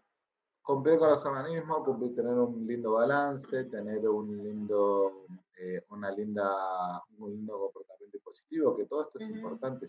Obvio, no, se descarta, por supuesto. Ahora, lo que sí creo que no es necesario que directamente todas estas, todas estas cosas las tenga que hacer un contador, sino que también lo puede hacer una persona técnica y después el contador hacer, hacer, el control correspondiente.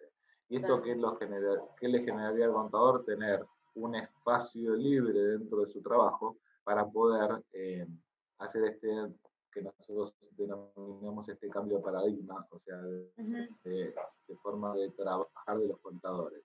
Porque yo estoy diciendo todo esto y el contador me está pensando y dice, yo tengo que pagar, tengo que presentar, me, piden que liquide, me piden que controle, me piden todas esas cosas que, que, van que van pidiéndole, pero no, no es que yo estoy pidiendo un cambio, una sumatoria de trabajo, sino un cambio de la forma de trabajar.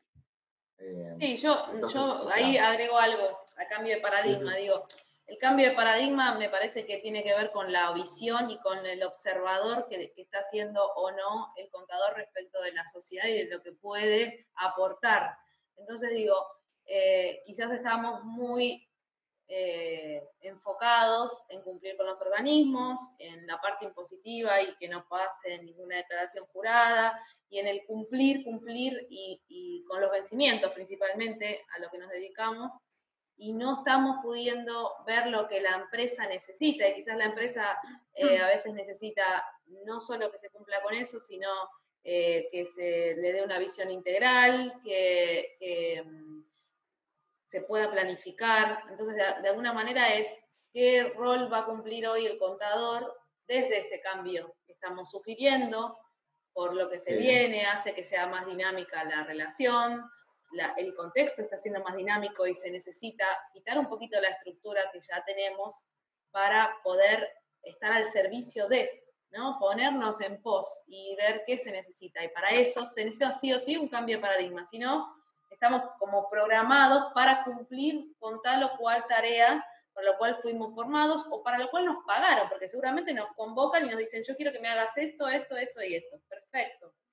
Nos convocan para eso, pero quizás no conocen que nosotros podemos darle el valor o agregarle valor a su empresa desde otro lado. Entonces digo, hay que empezar a, a llevar a la práctica este cambio de paradigma. Nosotros como contadores tenemos esa misión, me parece, hoy por hoy. Poder llevar a la práctica en las organizaciones y que vean que, de acuerdo a la formación que tenemos, amplia, eh, podemos darles un pantallazo y podernos este, colaborar en su, en su desarrollo empresarial desde otro lugar y no solo como compartimientos estancos presentando las cosas y cumpliendo, sino que todo eso se puede hacer por supuesto, como vos decís, delegándolo con un buen equipo de trabajo y demás, pero se puede sumar eh, el resto del expertise que tiene el contador en, la resolución de problemas, en el manejo de recursos, eh, que puede ser mucho más provechoso para la organización. A esto nos referimos con cambio de paradigma. Sí, y aparte tenemos que tener en cuenta que el contador público eh, aparte de ser el primer profesional que contrata la empresa, es eh, el profesional que puede ver la, eh, la, empresa en su totalidad. O sea, todos los temas que están relacionados con nuestra tarea y con nuestras funciones, podemos ver eh, en forma íntegra la sociedad. Entonces no podemos decir desconocer la situación de la empresa. lo que nosotros tenemos que, obviamente, que tenemos que, demostrar o que tenemos que hacer dentro de nuestra función es mostrarle el, beneficio que le podemos generar a la empresa un, eh, un profesional que esté en el día a día, en la gestión y no tanto en el día a día de las cosas que están relacionadas con estos temas que estamos hablando. O sea, yo creo que es totalmente, es, eh, es un desperdicio, eh, sin faltar respeto a nadie, que un contador público esté haciendo la descarga de las retenciones de, eh, no sé, del impuesto a valor agregado de la página FIP. Cuando vos podés tener tranquilamente una persona que, que, sea técnica, que, que, ejecute esas acciones. y no tener o tener que subir una declaración jurada uno a la página de AFIP eh, de un CM05 y estar, eh, y estar una cantidad de tiempo muy importante. No digo perdiéndola, pero sí lo que yo digo es que dada nuestra capacidad, dado nuestro, nuestro desarrollo, lo podemos estar haciendo algo mucho más eh, importante para la empresa que, que, eso. Que no digo que no sea importante, Digo que lo puede estar haciendo una persona, un técnico tranquilamente y después nosotros dar el control final, no desentenderse del tema. Pero sí controlar en vez de ejecutar. Eso nos va, nosotros nos va a dar un tiempo para poder estar en las cosas que sí son más importantes, que es en la gestión de todas estas cosas, en la planificación de todas estas cosas y en, el, en, lo que es el día a día de la gestión. ¿Ok? Em, bueno, por eso decimos que no es, no es, trabajar más, sino eh, trabajar mejor. ¿Ok? Eh, eso es lo que, nosotros pensábamos. Esto es un resumen más o menos de todo lo que venimos hablando, que el contador público tiene un valor agregado por la capacidad analítica y de interpretación de, información. O sea, esto es gracias a la, a la información que hemos tenido, más allá de, más allá de, de la institución donde, donde se ha formado cada uno por la forma de de, abarcar nuestra, nuestra carrera, tenemos diferentes, diferentes materias, experiencias. ahí te hago, te voy a salvar un segundo, Jorge, eh, y, voy a marcar ¿no? el cambio de paradigma, y a esto es lo que apuntamos. Esta es nuestra sugerencia. El contador como asesor de negocios. No, no como, como el contador, el típico contador en las pymes, y ahí está la diferencia entre uno y lo que vemos y lo, a lo que quisiéramos apuntar, de nuestra profesión es como asesor de negocios, todo lo que implica, toda la capacidad analítica que, tenemos, la interpretación de la, de la información, la, la, cantidad de información que manejamos, em, podemos tener eh, y tomar decisiones en todas las áreas, conocemos a la empresa en general, conocemos a sus dueños, entonces a, su, a la información, a lo que manejan, analizamos, ordenamos, evalúan, todas esas cosas y esas capacidades que tenemos adquiridas, lo que queremos y lo que vemos que sí tenemos que cambiar es justamente eh, el enfoque que le estamos dando a nuestro trabajo. Solamente eso. No es que tenemos que volver a formarnos de vuelta, ni, ni nada por el estilo. No. no, pedimos eso, sino estamos eh, invitando, y con esto a los nuevos profesionales, que son la nueva generación de contadores, a que empiecen a ver eh, nuestra profesión desde otro lugar, con otro enfoque, em, pensando en pos de agregarle valor al cliente, en pos de agregarle valor a la profesión, porque si así nos ven, somos un valor agregado para, muchos y podemos convertirnos de alguna manera en un socio estratégico de, muchos empresarios, y por qué no de actividades, y por qué no de cámaras, digo, eh, de alguna manera empezar a, cambiar el, justamente el enfoque y orientarnos al agregar valor y no al solamente a la mera, eh, el mero cumplimiento de, los vencimientos, ¿no, Romy? Sí, totalmente. Sí, sí. O sea, no es que nosotros, como, como recién decía Natalia, no es que nosotros tenemos que reestudiar o tenemos que hacer otra vez la carrera o tenemos claro, volver a formarnos. Sí tenemos que lo que sí tenemos que hacer es este, tener eh, una capacitación constante, porque como todos sabemos, o sea, ser un profesional eso no indica que no vas a tener que volver a estudiar más, ¿no? Todo lo contrario, o sea, vas a tener que seguir estudiando.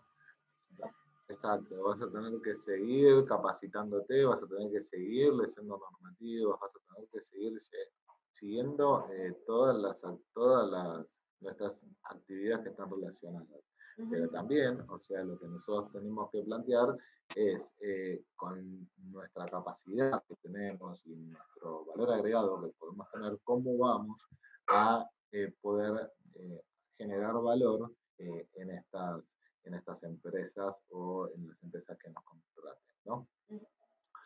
Bueno, y acá le doy el pase a, las, a, aquellas habilidades blandas que son necesarias para poder cumplir con todo esto, porque acá también, o sea, eh, a pesar de que no tenemos que reestudiar nuestra materia, eh, incorporar quizás. Cosas importantes, exacto, incorporar algunas cosas que eh, no, no, están relacionadas directamente de, con de, alguna manera, este, el pase. Sí, este cambio de enfoque que pedimos o que invitamos a que suceda, porque sería creo que es muy conveniente para, todos. Em, el, cambio del, contador como asesor de negocios implica que adquiramos nuevas habilidades. Muchas de estas habilidades quizás ya las tenemos. Eh, o sea, no solo la parte técnica es fundamental, la parte técnica y de conocimiento es, necesaria para, desarrollar cualquier este, puesto, ¿no? Eh, pero las habilidades a las que hablamos nosotros, que las van a ver, también se llaman habilidades blandas o soft, tienen que ver con eh, la capacidad de comunicación, que ahora las vamos a ver en detalle, eh, cada una de estas, la motivación, la capacidad de liderazgo, la habilidad para la resolución de problemas, que esta es una fundamental eh, que todos deberíamos tener, el trabajo en equipo, el fomento de trabajo en equipo, y ahí va a estar también el cambio, ¿no? Este de, armar un buen equipo y cada uno con sus funciones y roles, y la gestión del tiempo. Los vamos a ver ahora en la próxima filmina eh, algunas en detalle. Capacidad de comunicación. Cuando hablamos de capacidad de comunicación, la primera y la más importante es la escucha activa. ¿Y qué, qué entendemos cuando decimos con escucha activa? Escucha activa es escuchar con todos los sentidos me está diciendo? No es solo oír, acá hay una diferencia entre oír y escuchar. Oír la percepción de cualquier sonido y escuchar es entender, es, es, oír e interpretar. ¿sí? Cuando alguien me está hablando es interpretar el mensaje que me está diciendo y quizás en muchas ocasiones escuchar un poquito más allá de la queja si viene por ese lado, es decir, tratar de entender, desmenuzar cuál es el mensaje, qué me está queriendo transmitir, qué emoción le está pasando al otro, qué es lo que está viviendo, y de alguna manera yo poder responder a, esa, a ese pedido o a ese comentario. Esto es lo que nosotros decimos lo que es escucha activa. Eh, empatía, que empatía está muy de moda y no es solamente ponerse en el lugar del otro, que eso es imposible, es una falacia, no podemos nunca ponernos en el lugar del otro. Lo que sí podemos hacer es tener presente que nuestros dichos y nuestros hechos tienen un efecto en el otro. Que si yo hago un comentario que puede herir el sentimiento, tenerlo en cuenta, que no es que eh, somos seres sociables y que estamos en relación con otros, o sea, empatía, a esto nos referimos, ¿no? A tener presente que el otro también tiene un mundo, un multiverso, sus emociones, sus, este, sus sentimientos, que lo, que lo dominan o, que lo, lo, llevan por la vida, digamos, y que cualquier em, intervención que yo pueda tener le puede generar a él un conflicto. Entonces digo, solo tener en cuenta esto, ¿no? Y la otra y muy importante es la comunicación asertiva. Y asertiva significa que yo pueda comunicar lo que realmente me pasa y mm, lo pueda ¿no? realmente comunicar y decir lo, lo, que me pasa. Eh, después tenemos la, la motivación. La motivación implica mantener el impulso interno orientado a la búsqueda del valor y beneficios hacia nuestro cliente. O sea, la motivación es el impulso interno, aquello que nos hace hacer eh, las cosas de una determinada manera. Y lo que decimos en, el caso de, de, la profesión y con los clientes, en una organización, siendo asesores, es alinear ese impulso interno a la búsqueda del valor agregado al cliente. ¿sí?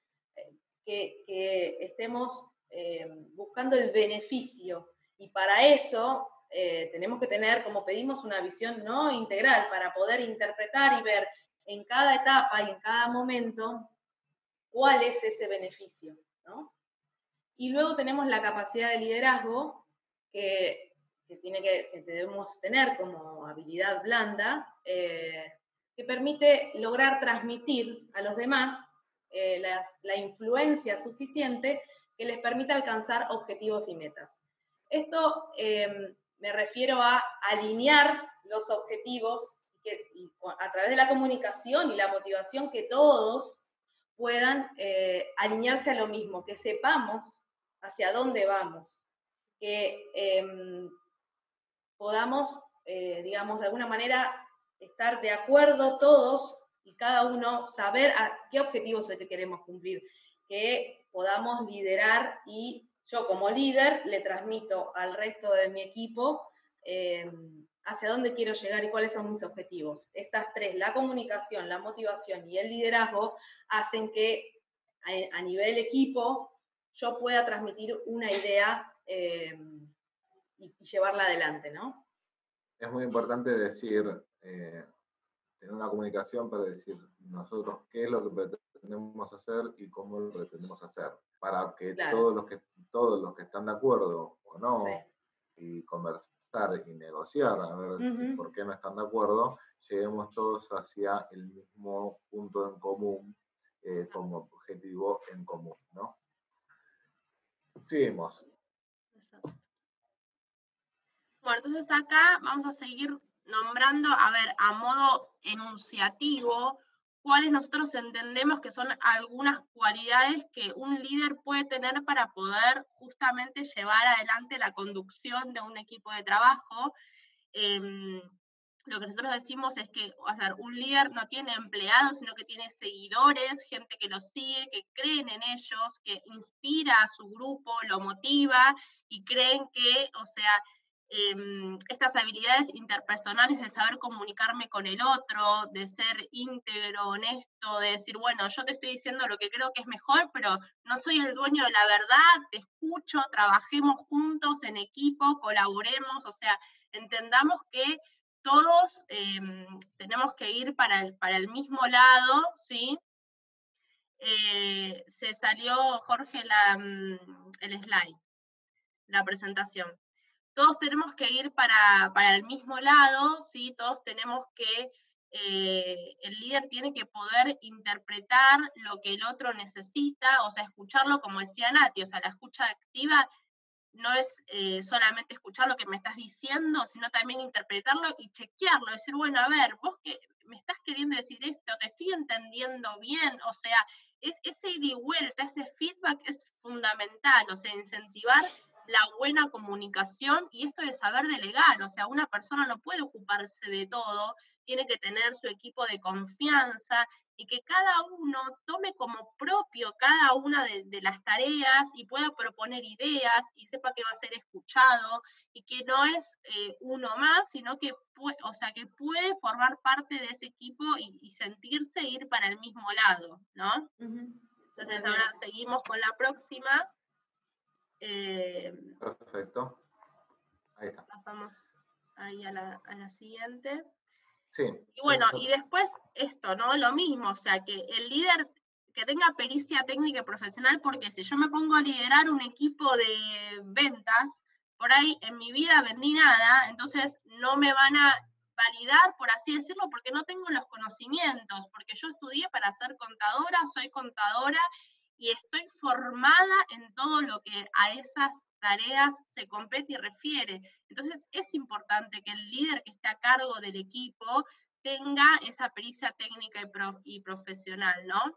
Después, también es importante el reconocimiento, es decir, no solamente te voy marcando esto lo hiciste mal, esto no era como quería, no llegaste al objetivo, sino decir, qué bueno esto que hiciste, me encantó tu idea, eh, o sea, pongámoslas en marcha. El tema de desarrollar a otros, ¿no? El líder lo que yo entiendo es que tiene que formar nuevos líderes, o sea, no puede ser egoísta en ese punto, sino todo lo contrario, en decir, bueno, a ver, todos tenemos que desarrollarnos, crecer, o sea, empujar a que, al desarrollo personal de cada uno, reconocer que es, que es humano, que se puede equivocar, y si se equivoca, decir, sí, la verdad me equivoqué, creí que esto era lo mejor y al final no, no, lo fue.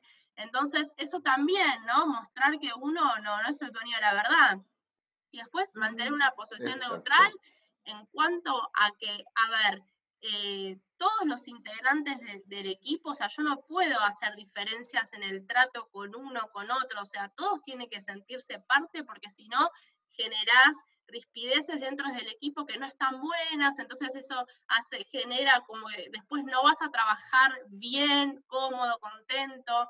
Entonces, todas estas cuestiones de, de desarrollar a otros, de ser neutral en el trato, de ser cordial, empático, de felicitarlos, de, de, o sea, alentarnos a que estamos yendo por el buen camino todos y que si nos equivocamos, nos equivocamos todos y bueno, reveamos qué pasó, busquémosle la vuelta, pensemos una solución conjunta, pero todos somos parte del problema, de la solución, del trabajo, del desarrollo, de todo. O sea, eso es lo que, lo que quisiera transmitir, ¿no?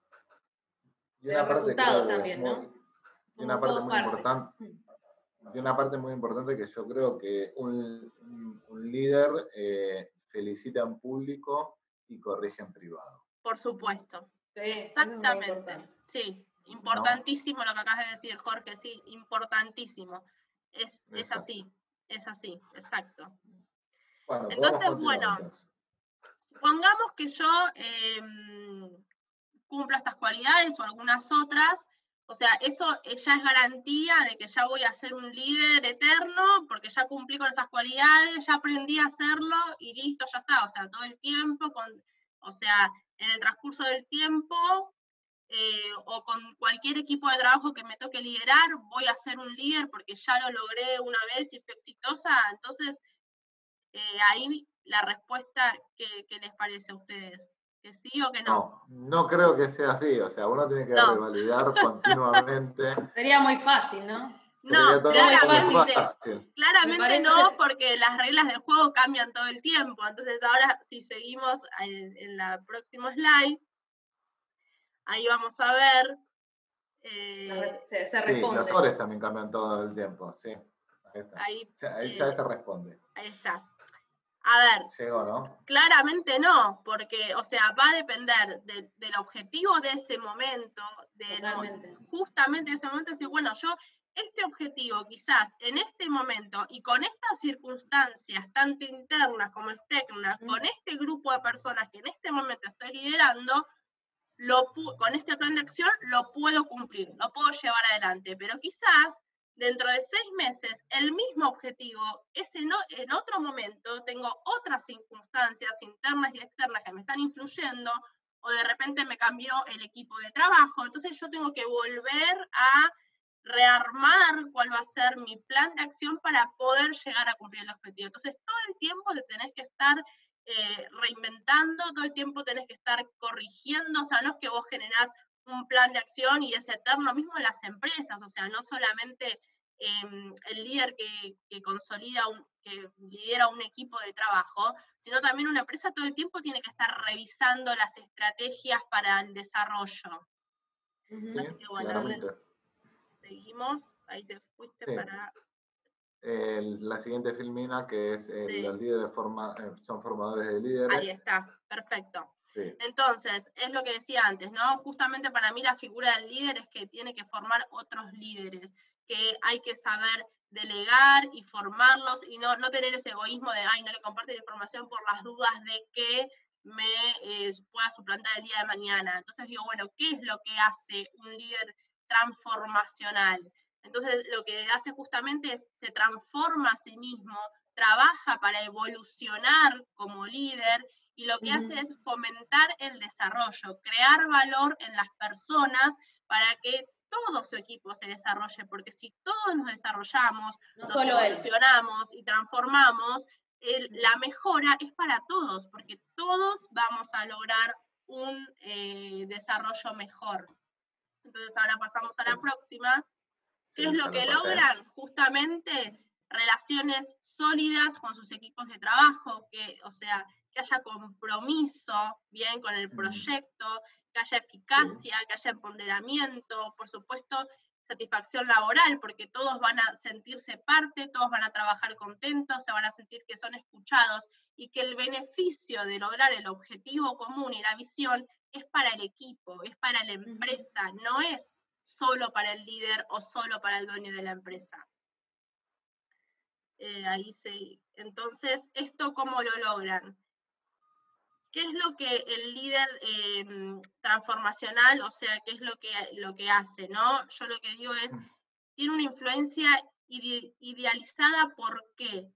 Porque la gente que lo sigue, el equipo de trabajo que sigue a este líder, lo ve como un ideal, lo ve como que es justamente la persona que los puede influir de la mejor forma para que ellos lleguen a ese cumplimiento de objetivo. O sea, realmente lo, siguen porque creen que tiene las capacidades y las cualidades para poder hacerlo. Entonces lo motivan. sí. Es lo que uno, que lo uno siente capaz que a mí me gustaría ser como fulano de tal, ¿no? O sea, está inspirado, a, está inspirado eso. O sea, genera una imagen tan positiva que, ¿no? Claro, claro. Es a, donde lo sigo porque creo en él, porque quiero llegar, porque me motiva, porque me inspira.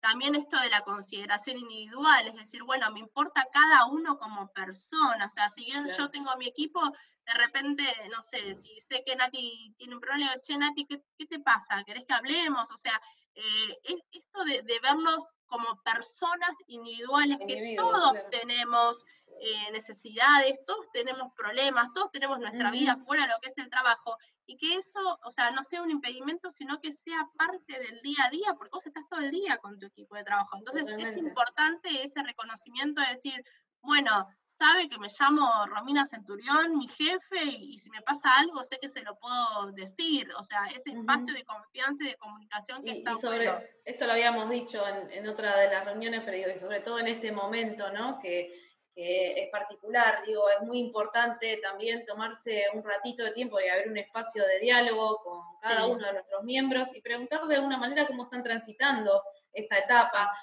porque a veces no sabemos ni siquiera cómo viven en sus casas, cuál es el contexto, eh, entonces digo, quizás desde ese lugar, abriendo un espacio de diálogo eh, y, escuchando un poquito, eh, conocemos y podemos darle más herramientas, resolverle problemas, eh, que se sientan escuchados, todo, todo esto mm, ayuda ¿no? a, justamente a que se den cuenta de cuáles son nuestros ideales, que estamos en pos de eh, colaborar, de, que todos estemos cómodos, que vamos hacia un mismo lado. Eh, es muy, muy importante esto que decís, desarrollarlo, ¿no? El feedback permanente, o sea, el feedback, claro sobre todo en este, en este momento de, de, este, tan particular que estamos, eh, que estamos viviendo, como eh, armar un, un, lugar en el cual eh, no sienta, las personas no sientan que están cada una trabajando de forma individual, sino que están trabajando en un conjunto y que este, mantenemos todavía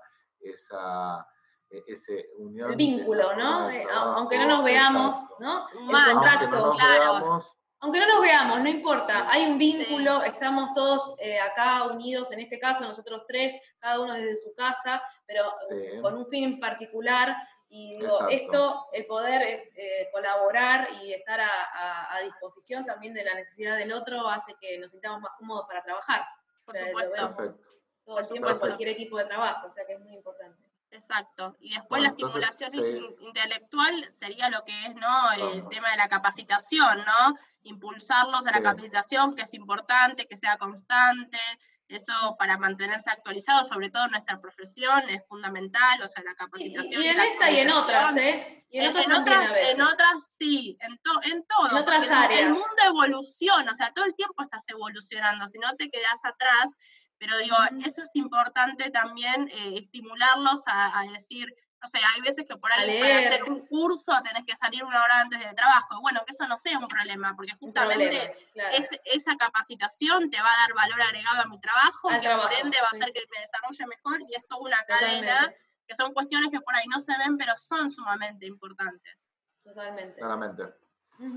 Bueno, seguimos entonces, ¿no? Con esto. Avanzamos. Perfecto. Seguimos con la parte de...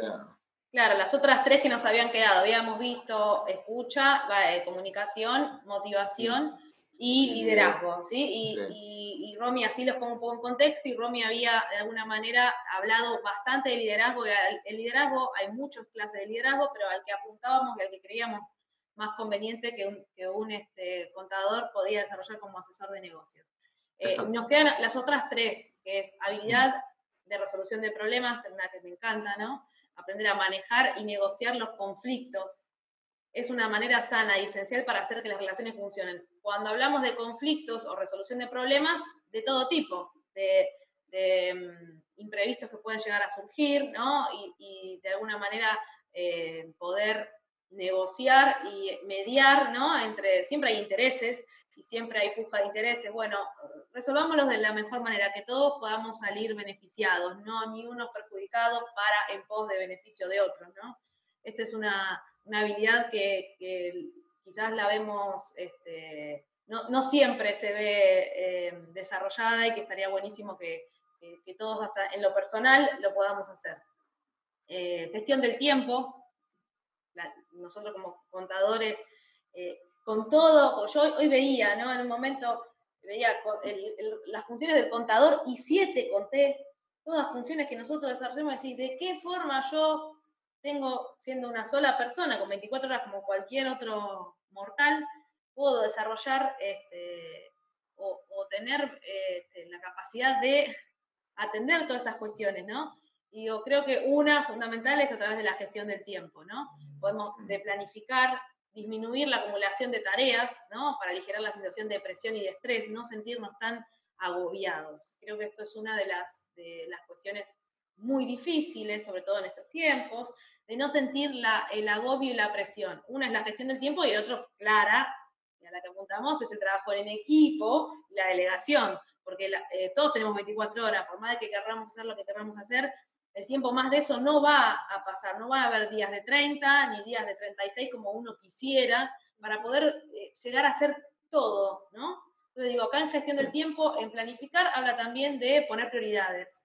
A veces no se puede cumplir con todo, sino que hay que separar lo urgente de lo importante y empezar a, hacer este, un trabajo de, de elección a qué voy a dedicar mi energía como para que no me pase esto, ¿no? Poder bajar la presión y el estrés. Y bueno, sí. Sí, yo creo que un poco de lo que habíamos visto desde el inicio hasta para llegar hasta acá, eh, entiendo de que son demasiadas funciones y demasiados roles y considero que es casi imposible que una misma persona pueda abarcar todas esas funciones y roles que vimos en lo primero, porque una cuestión justamente de tiempo, por más que los días tengan 48 horas, que lamentablemente no es así. Hay un dicho muy conocido que, dice que, el que mucho abarca, poco aprieta.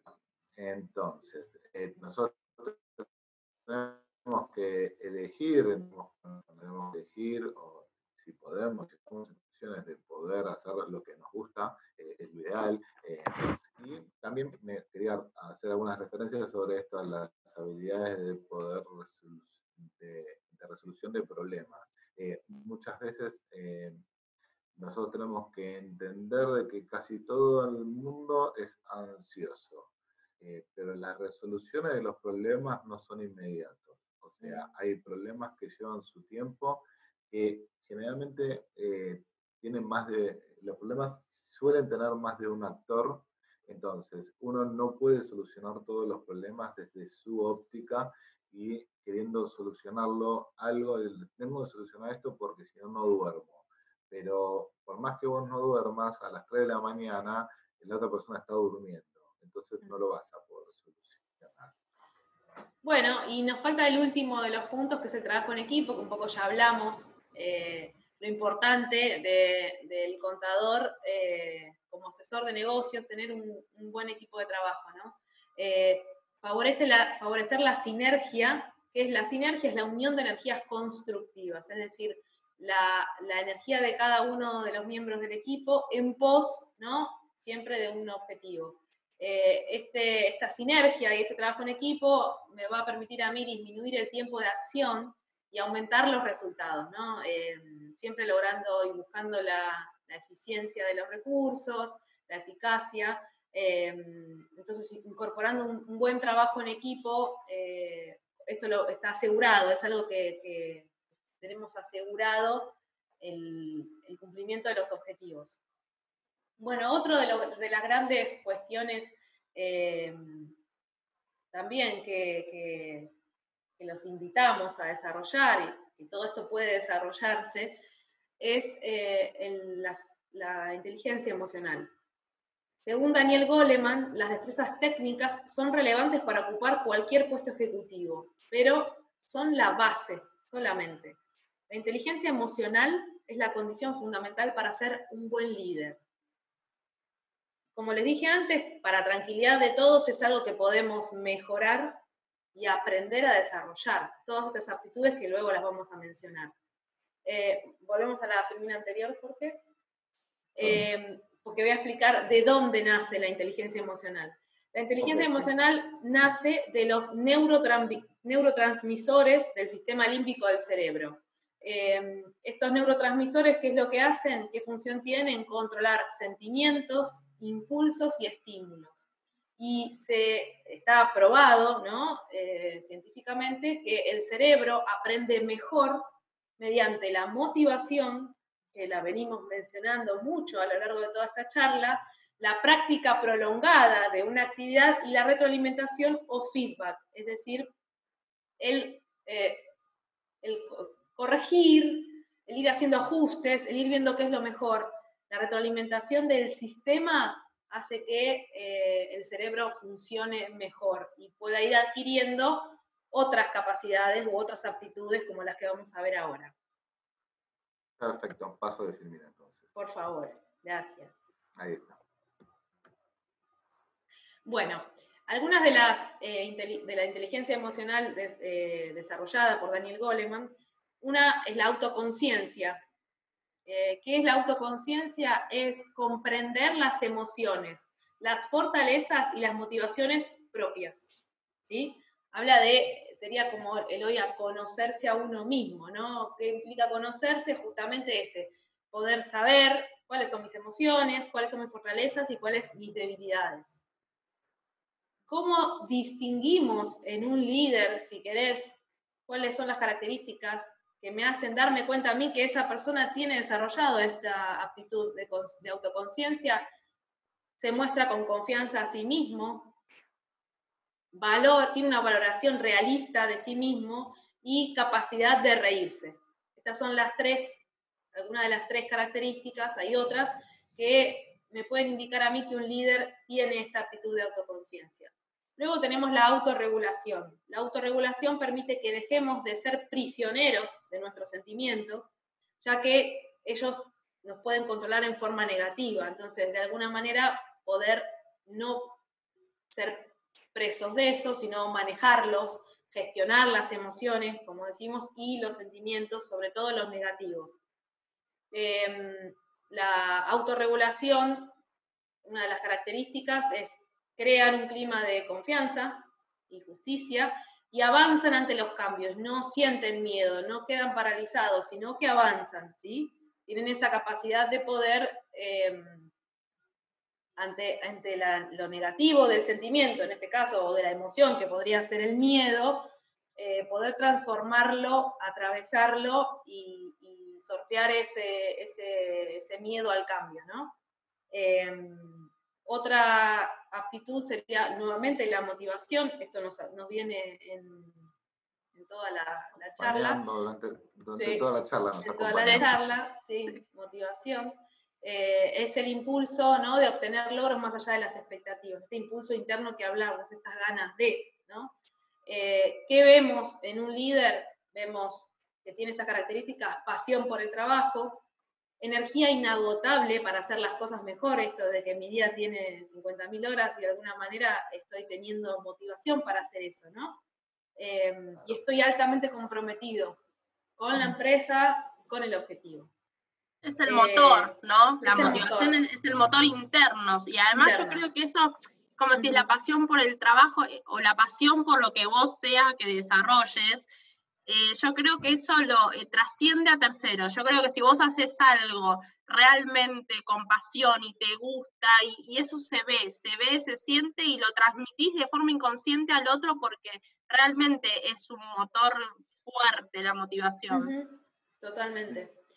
Em, y el mismo de, o sea, lo vemos que está en todo y por algo lo está, no, no, no es al azar, sino que de alguna manera es importante buscar qué nos motiva para, ¿no? Eh, en todos hay algo diferente seguramente porque somos seres este, todos distintos, pero digo, cada uno hay algo que nos motiva y es, importante eh, buscarlo, encontrarlo y poder aplicarlo las distintas actividades para, poder lograr esto, para poder demostrar pasión, para tener energía, para comprometerme con el resultado y con lo que estoy haciendo. Eh, y la empatía, otra, otra amiga que se repite, ¿no? Eh, que, es, que implica tener consideración de los sentimientos de los demás, que no es solamente el ponerse en lugar del otro, sino es esto, ¿no? tener en consideración que los demás tienen sentimientos y que tengo que tenerlos presentes al momento de interactuar. Eh, ¿Alguien empático qué características tiene? Tiene destreza en formar y retener talento, ¿sí? Eh, y es muy bueno, o una de sus características, en el servicio a clientes y consumidores. ¿no? Es una persona empática, tiene esta, em, esta facilidad ¿no? de, estar en pos del servicio del cliente y, al consumidor y poder, eh, digamos, estar atento a, ciertas circunstancias. Esto que, en, eh, esto que, en esto que decías de destreza de formar y retener talento, eh, recordaba siempre una frase que me dijeron una vez hace algún tiempo y que voy descubriendo y dándome cuenta que es así. O sea, una persona no renuncia a su trabajo, sino que renuncia a su jefe, mm. la mayoría de las veces. Y que a pesar de lo que nosotros pensamos, eh, muchas de, las, de los cambios laborales no son producto de una motivación económica pura y exclusivamente Mm. sino de eh, un mejor lugar de trabajo, un crecimiento personal o alguien que les genere o les dé un crecimiento personal. No todo está tan relacionado a, eh, a dinero, al bienestar, ¿no? Muchas veces pensamos, sí, esta persona se cambió de empresa porque le ofrecieron un sueldo mucho mejor, y no es así. A veces eh, los cambios que decide una persona para cambiar de empresa no pasan solamente por lo económico, seguramente que es un, es un dato importante, ¿no? Obviamente nadie trabaja por amor al trabajo, eh, todos lo hacemos si no, no nos pagarían por trabajar, pero no es la única consideración importante a la hora de evaluar eh, diferentes propuestas de trabajo. Eh, por eso creo que e, ese punto es importante.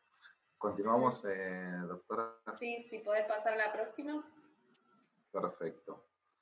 Eh, bueno, estos son todos los atributos que ya habíamos hablado, mencionado en diferentes oportunidades. Lo que creo que es importante de esto es la administración de base de datos que hoy en día nuestra profesión requiere. Eh, un contador que no sabe usar eh, Excel o que se le dificulta la administración de la base de datos es muy complicado. Sea, esto también es una, eh, es una capacitación que tenemos que hacer de forma externa, que no está relacionada con esta carrera, pero es muy importante entender los sistemas de gestión, porque son aquellos sistemas que nos van a poder brindar a nosotros eh, todo el trabajo final también cuando estamos refiriéndonos a el armado de un balance, a verificar sumas saldos, eh, diferentes cosas que están relacionadas directamente con la contabilidad o con, por ejemplo, estos, los nuevos sistemas que hacían directamente eh, el ajuste por inflación. Si nosotros no conocemos esos sistemas, si no, no, conocemos cómo funcionan, muy difícil que lo podamos corregir si hay un error. Entonces, eh, hoy en día necesitamos eh, conocer mucho sobre este tema de la administración de base de datos y todas las herramientas, obviamente, de, que están relacionadas con, con los sistemas son importantes para nosotros. Y bueno, y ya terminamos con la conclusión final que se la dejamos a la doctora eh, para que podamos terminar la charla de hoy. Bueno, creo que de alguna manera eh, nuestra conclusión final la, la, vinimos transmitiendo ¿no? en, en, toda la charla y lo que, a lo que nosotros apuntamos es que para este nuevo rol de contador de permanente actualización y conocimiento. Eh, no solo queremos que apuntemos a esta capacitación, conocimiento y demás, sino a formarnos y a empezar a ver eh, a las empresas como desde otro lugar, con otro enfoque, eh, apuntándoles a agregarle valor, eh, a buscar mercados más competitivos, socios estratégicos, colaborar en la planificación, en la toma de decisiones. Y nosotros tenemos, estamos convencidos, nosotros como profesionales, como contadores y matriculados, de que tenemos toda la formación y toda la capacidad para poder desarrollar y realizar este cambio de enfoque, que significa solamente un cambio de acá de observador y, poder adquirir algunas de estas aptitudes en caso de que no las tengamos para poder desarrollar mejor eh, eh, y llevar a las organizaciones los cambios que queremos implementar, pero que tenemos y confiamos en cada uno de nosotros para poder este, llevar adelante y, llevar a la profesión a quizás a un lugar de jerarquía eh, y, convertirnos en un este, exponente importante en toda sociedad, ¿no? Eso es lo que queremos apuntar. Mm, yo lo que, lo que quiero agregar es que tenemos que tener en cuenta, seguramente muchas personas que están escuchando la charla de hoy y decir, bueno, sí, pero eh, a mí no me dan el lugar o yo no puedo hacer esto porque no tengo el lugar. El lugar cada uno se lo tiene que ganar o tiene que buscar la forma. Está en nosotros eso. De demostrar. La responsabilidad, sí. No solamente de la responsabilidad, sino de demostrar que. No, nuestra responsabilidad que nos hagan el lugar, a eso es lo que voy, ¿no? O sea, claro. claro, o sea y después eh, buscar la forma de demostrar estos beneficios que nosotros estuvimos charlando hoy, eh, poniendo la energía eh, en los lugares indicados y, y, haciéndole ver a los dueños, empresarios, accionistas, que son mucho más eficaces o mucho más importantes en, en, este, en estas cuestiones que en las cuestiones que mencionamos eh, al inicio. No digo que sean, eh, no sean importantes, no, no, son todas importantes, pero tenemos que buscar la forma de poder demostrar todo esto que nosotros estamos hablando. Y para eso, obviamente, cada uno de su tarea individual la va a tener que retransmitir o transmitir a, las personas, eh, a las personas que, que son las que toman las decisiones. Sí, o sea, en, conclusión, mostrar el valor agregado que un contador puede dar más allá de una liquidación impositiva o de un balance, sino que un contador que te brinda un asesoramiento permanente, que te permite planificar, a ver si vos tenés buena información a tiempo, puedes tomar mejores decisiones, eso va de la mano de la gestión de un contador. Entonces, todo esto de jerarquización de la profesión, que es lo que tanto el cambio que hay que, hacer y lograr, que es desde cada uno, porque cada uno tiene que mostrar al cliente ese valor agregado que le puede dar, que no somos simplemente un liquidador de impuestos, sino que va todo de la mano con una planificación, con una proyección. Entonces, todo ese valor agregado que el cliente lo vea y eso es lo que va a ir de la mano también con, una, con lograr la jerarquización de que el contador no es meramente alguien eh, que necesitamos en una empresa para operar de forma operativa, sino que es mi aliado estratégico para que a mí me vaya mejor. O sea, si vos tenés una buena planificación, seguramente vas a poder proyectar mejores ganancias a futuros porque vas a poder mejorar costos, vas a poder tomar un montón de decisiones que te van a ayudar eh, en el desarrollo del negocio. Sí, sí, totalmente. Eso es lo que queremos. Eh, a, esto ah, apuntamos. Es que, es que es a eso lo que nosotros tenemos. Es lo que. Sí, sí, sí, continúo. Continúo, perdón. sí, sí, sí, em, paramos. A esto apuntamos eh, con la idea del curso y con los temas a tratar en, la charla, sobre todo dirigida a jóvenes profesionales que son el futuro de nuestra profesión, de, buscar siempre eh, la jerarquización, ¿no? Eh, y creo que dejamos en, manos de ustedes y nosotros vamos a colaborar en todo lo que se pueda para justamente cada uno, la suma de los valores agregados, ¿no? De cada uno personal va a hacer que la profesión pueda, pueda jerarquizarse y, y romper con un montón de mitos que hay alrededor. Y eso es lo que eh, nosotros quizás como, como, yo hablo por mí, ¿no? No hablo por ellos, pero como profesionales un poquito más experimentados, eh, quisiéramos ver, ¿no? Percibir en la sociedad eso, que la, profesión está jerarquizada, que el valor agregado que cada uno le da hace que esa suma sea, sea bien percibida por la sociedad. Perfecto. Creo que por con, e-, esto, con esto nos despedimos, ¿no? Nos despedimos, sí. Muchas gracias a todos por participar. Gracias Jorge, gracias Nati, un placer haber compartido esto con ustedes. Muchas gracias al Consejo y a Gaby por el espacio. La verdad es que eh, creo que es importantísimo en este momento acompañar al matriculado con las capacitaciones permanentes, que son muchísimas. O sea, la realidad es que es fundamental en estos momentos, sobre todo, este acompañamiento y estos ciclos para poder decir, bueno, me puedo capacitar, puedo, no, no, estoy solo, por así decirlo. Así que bueno, les agradezco el espacio un montón y a ustedes chicos un placer enorme y los esperamos a todos en el próximo ciclo y en la Comisión de Jóvenes también. Obvio, sí, los Muchas gracias. gracias. a todos. gracias. Hasta, Hasta luego.